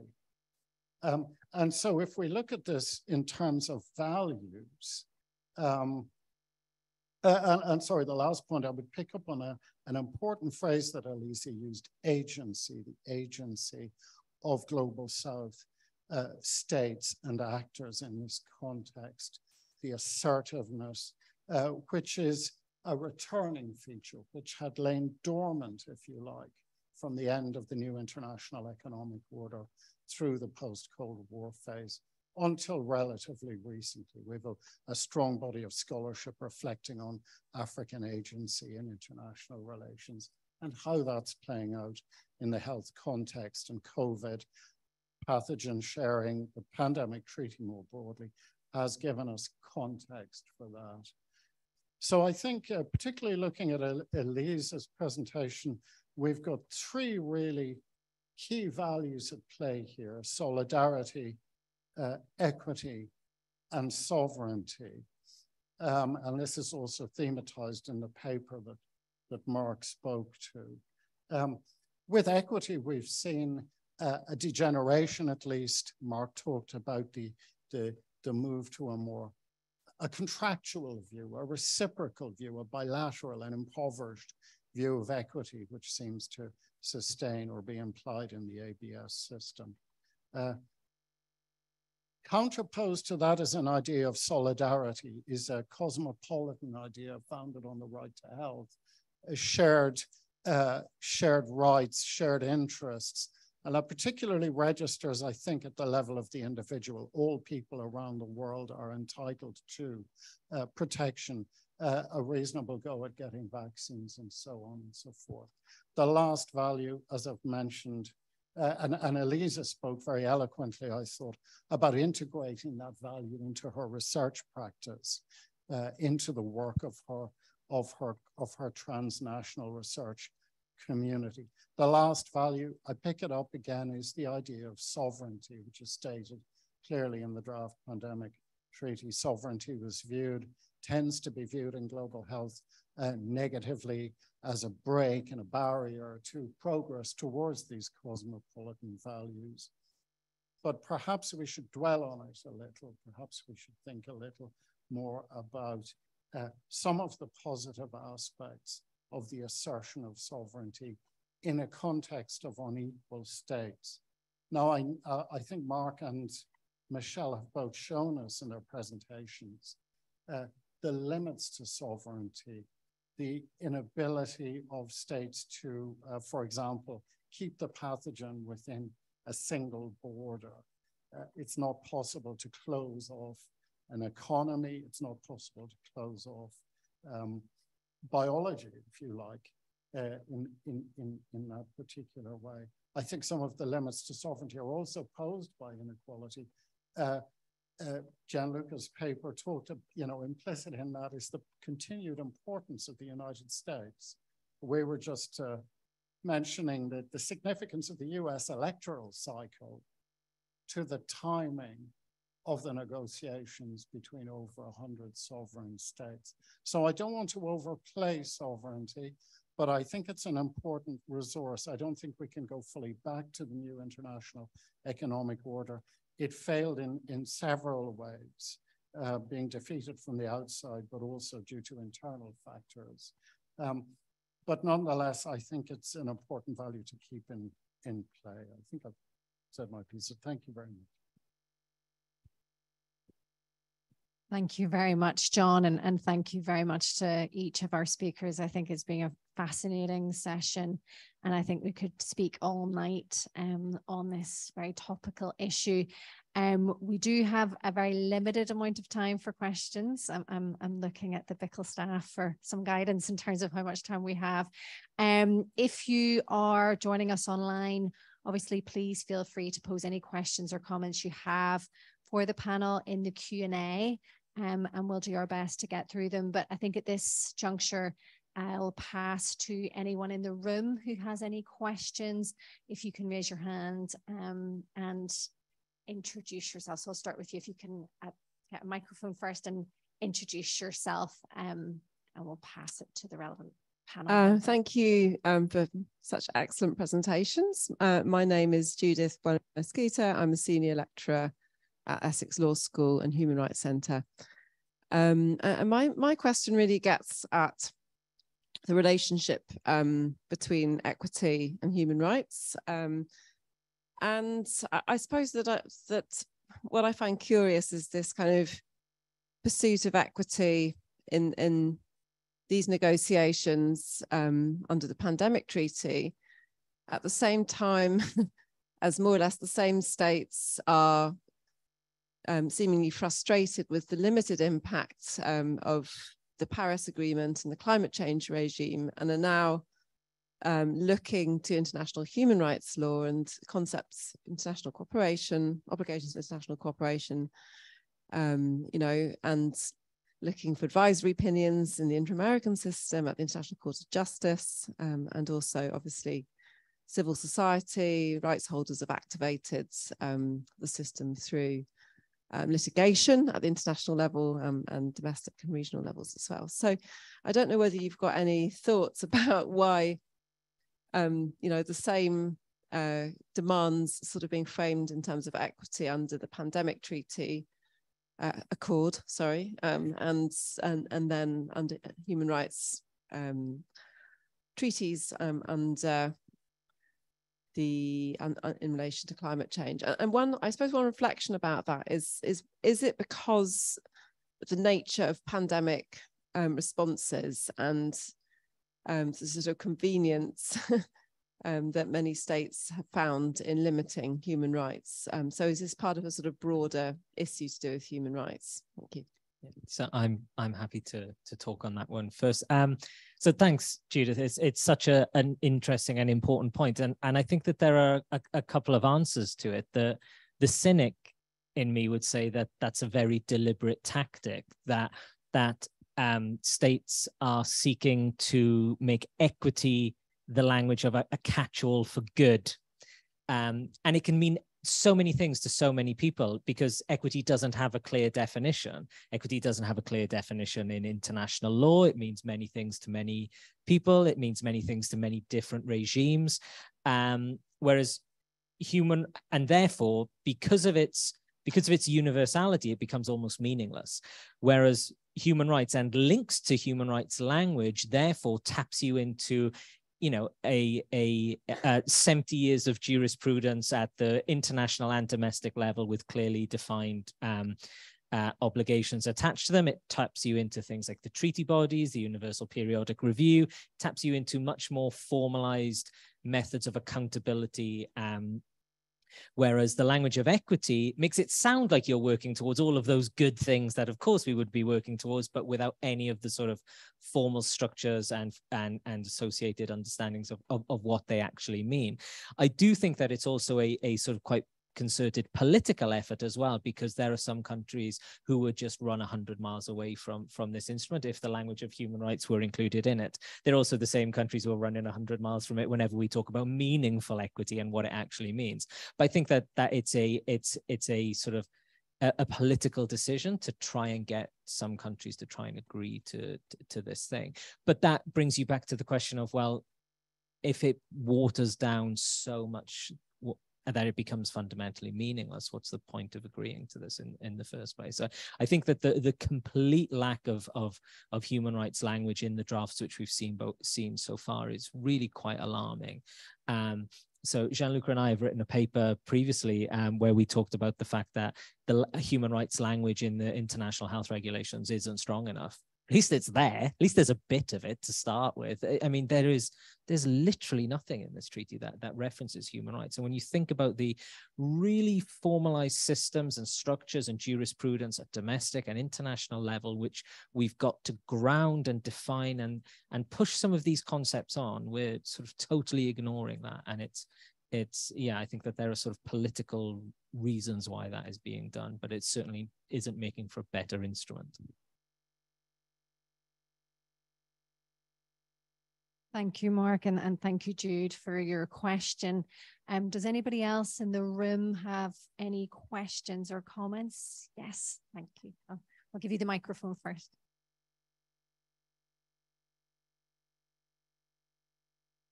Oh, hi, thank you. Uh, it's like a very uh, insightful like lecture to know uh, different perspectives. Uh, I'm Aris. I'm currently studying at uh, in a master program at gender studies and law. And I probably have a question to Dr. Michelle, because like when you're uh, introducing the thing, I noticed like you talks about a one health approach. I know like uh, no matter pandemic or whatever, for sometimes like we probably will face the same uh, public health crisis, but um, would you mind to how to say elaborate more about One Health approach? Because when I say it, how I understand, like I would think more about, for example, local context like even though we face the same pandemic but like when it comes to different countries or regions i feel like you know it's like it's different. And also uh, i feel like when it, um, there is no gender perspective i feel like for women or men or like when we face the same health issue even for the vaccines like i think the like the if impacts on like different groups of people are different. So like i'm quite curious about that. Thank you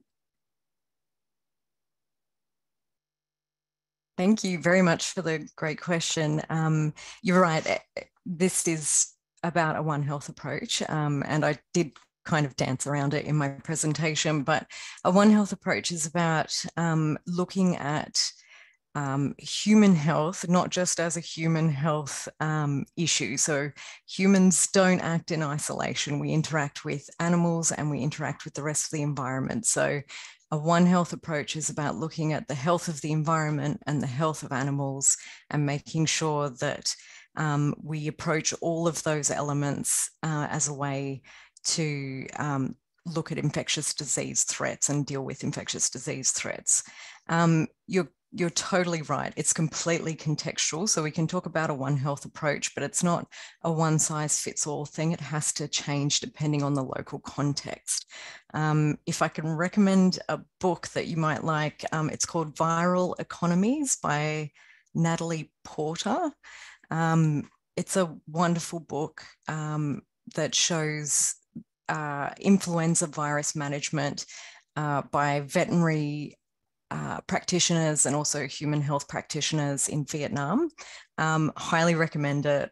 And I think um, I'm hoping that you'll find uh, some some references to um, gender within that as well. I can't really speak um, to gender within the One Health approach, but um, again, it is a contextual thing. And I think um, that, yeah, all of those elements do need to be taken into account. Thanks for your question. Thanks so much, Shell, and, and thank you very much for the question. Does anybody else in the room have any additional comments or questions? Yeah, okay.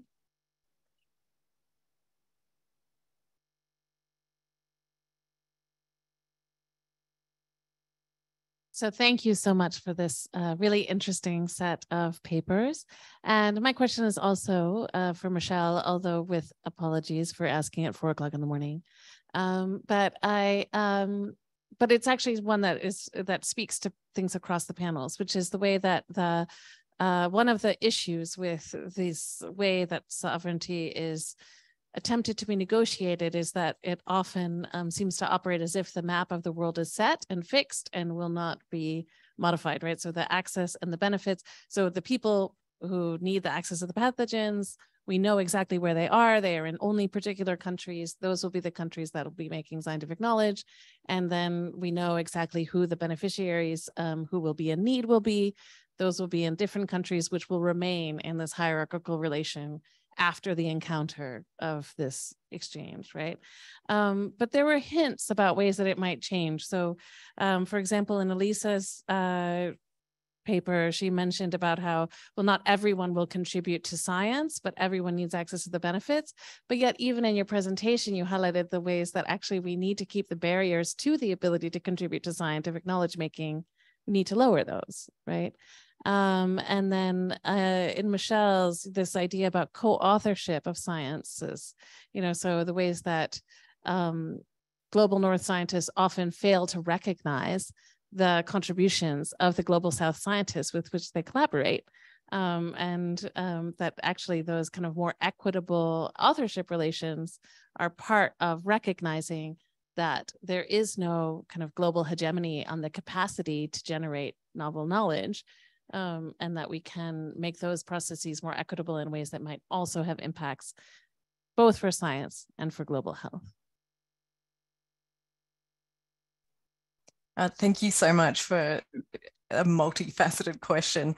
Um, I think uh, I liked your point about the map of the world being fixed. Like that's how we talk about it when we're talking about sovereignty. And um, John mentioned that we behave as if biology has borders, but it but it really doesn't. Um, I think one point I want to make, just sort of jumping off your question rather than answering it directly, um, is that when we're talking about viral sovereignty, um, we're using concepts from the Convention on Biological Diversity, like the country of origin, and it's not very clear what that means for viruses. Um, so we're talking about are we talking about the country of evolutionary origin? Are we talking about the country um, that the virus emerged within? Or are we talking about uh, the country that the virus was isolated within?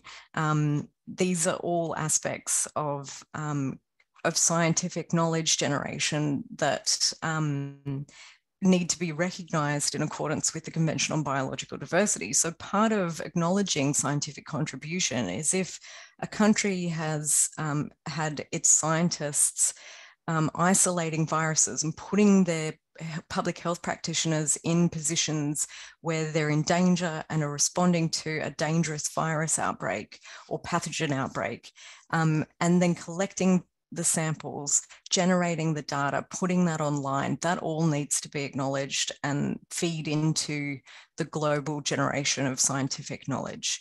Um, and, and as I was saying, I don't, I really feel that this should just be a matter of scientific courtesy that um, these inputs are acknowledged, um, but it's hard to know how far uh, down the line. So how far um, upstream do you go um, to acknowledge the the sorts of um, knowledge that you're building on top of. So you know, standing on the shoulders of giants, um, but there there are lots of giants stacked on top of each other. Excellent. Thank you so much, Michelle. Thank you for the, the great question. And um, we are absolutely at the limits of time, but there is one interesting question that we've had in the Q&A. I think most of the other Q&A um, questions have been answered already. Um, but I'm going to pose this to Gianluca. Uh, will there be a treaty body to monitor compliance with the treaty? Well, that depends on the final outcome. In the text as it stands now, uh, there is quite an elaborate set of uh, governance institutions. There's a conference of the parties with various subsidiary bodies, uh, including one on compliance, uh, with a long list of functions um, to both promote effective implementation and to have a rather non-antagonistic, non-adversarial approach to compliance. So um, I think if you look at the texts that have come out since uh, since last year, there is a growing attention to the question of compliance, of promotion of implementation, and of mutual accountability. Uh, this clearly reflects um, a clear understanding on the part of many countries, both global north and global south, that you need that kind of mechanism to build trust, to ensure mutual learning, uh, to have a more credible outcome. So again, depends on the final outcome, but I'm pretty confident that there will be a kind of mon compliance monitoring mechanism that resembles to a certain extent what you see in some multilateral environmental agreements. You also have proposals on compliance mechanism um, in the amendments to the IHR. In particular, there's one from the Africa region, one from the United States, quite elaborate, and one from the European Union. And there you can see a tension between two approaches. One which is the one in different directions by the African group and the European Union, uh, want a political peer review, want basically states reviewing states, a bit along the line of the human rights UPR, uh, in one case even grounded within the health assembly, so like a, like a plenary uh, review. That, of course, weakens very much the idea of a proper, more pointed compliance review, becomes more of a political exercise, more of a promotion exercise, uh, so high-level review and so on. On the other hand, the United States wants a an expert body, more akin to, again, what you see in many regulatory uh, treaties. So you see a number of directions, but you see quite an attention to the need for, uh, again, non-adversarial, fairly supportive, but credible uh, compliance mechanism in both texts. Thank you very much, Gianluca. Um, so it's it's my pleasure to act like the groom at a wedding, which is just to issue final thanks um, to everybody. Thank you very much to each of our speakers. You've been incredible. Um, I find this fascinating, and um, I think you know, having judged um, the audience in the rooms, um, active participation and concentration, I, I, can say the same for everybody who's been um, here and online as well. Um, I want to thank BIICL um, and in particular Anthony for all his help um, in getting this together, as well as our AV support, and also um, finally, I'd like to thank the Royal Society of Edinburgh for the funding to enable this um, event to take place. But I think unless there's anything else, I think that is us. So thank you very much, everybody, for attending. And yes, have a good evening or good morning if you're Michelle.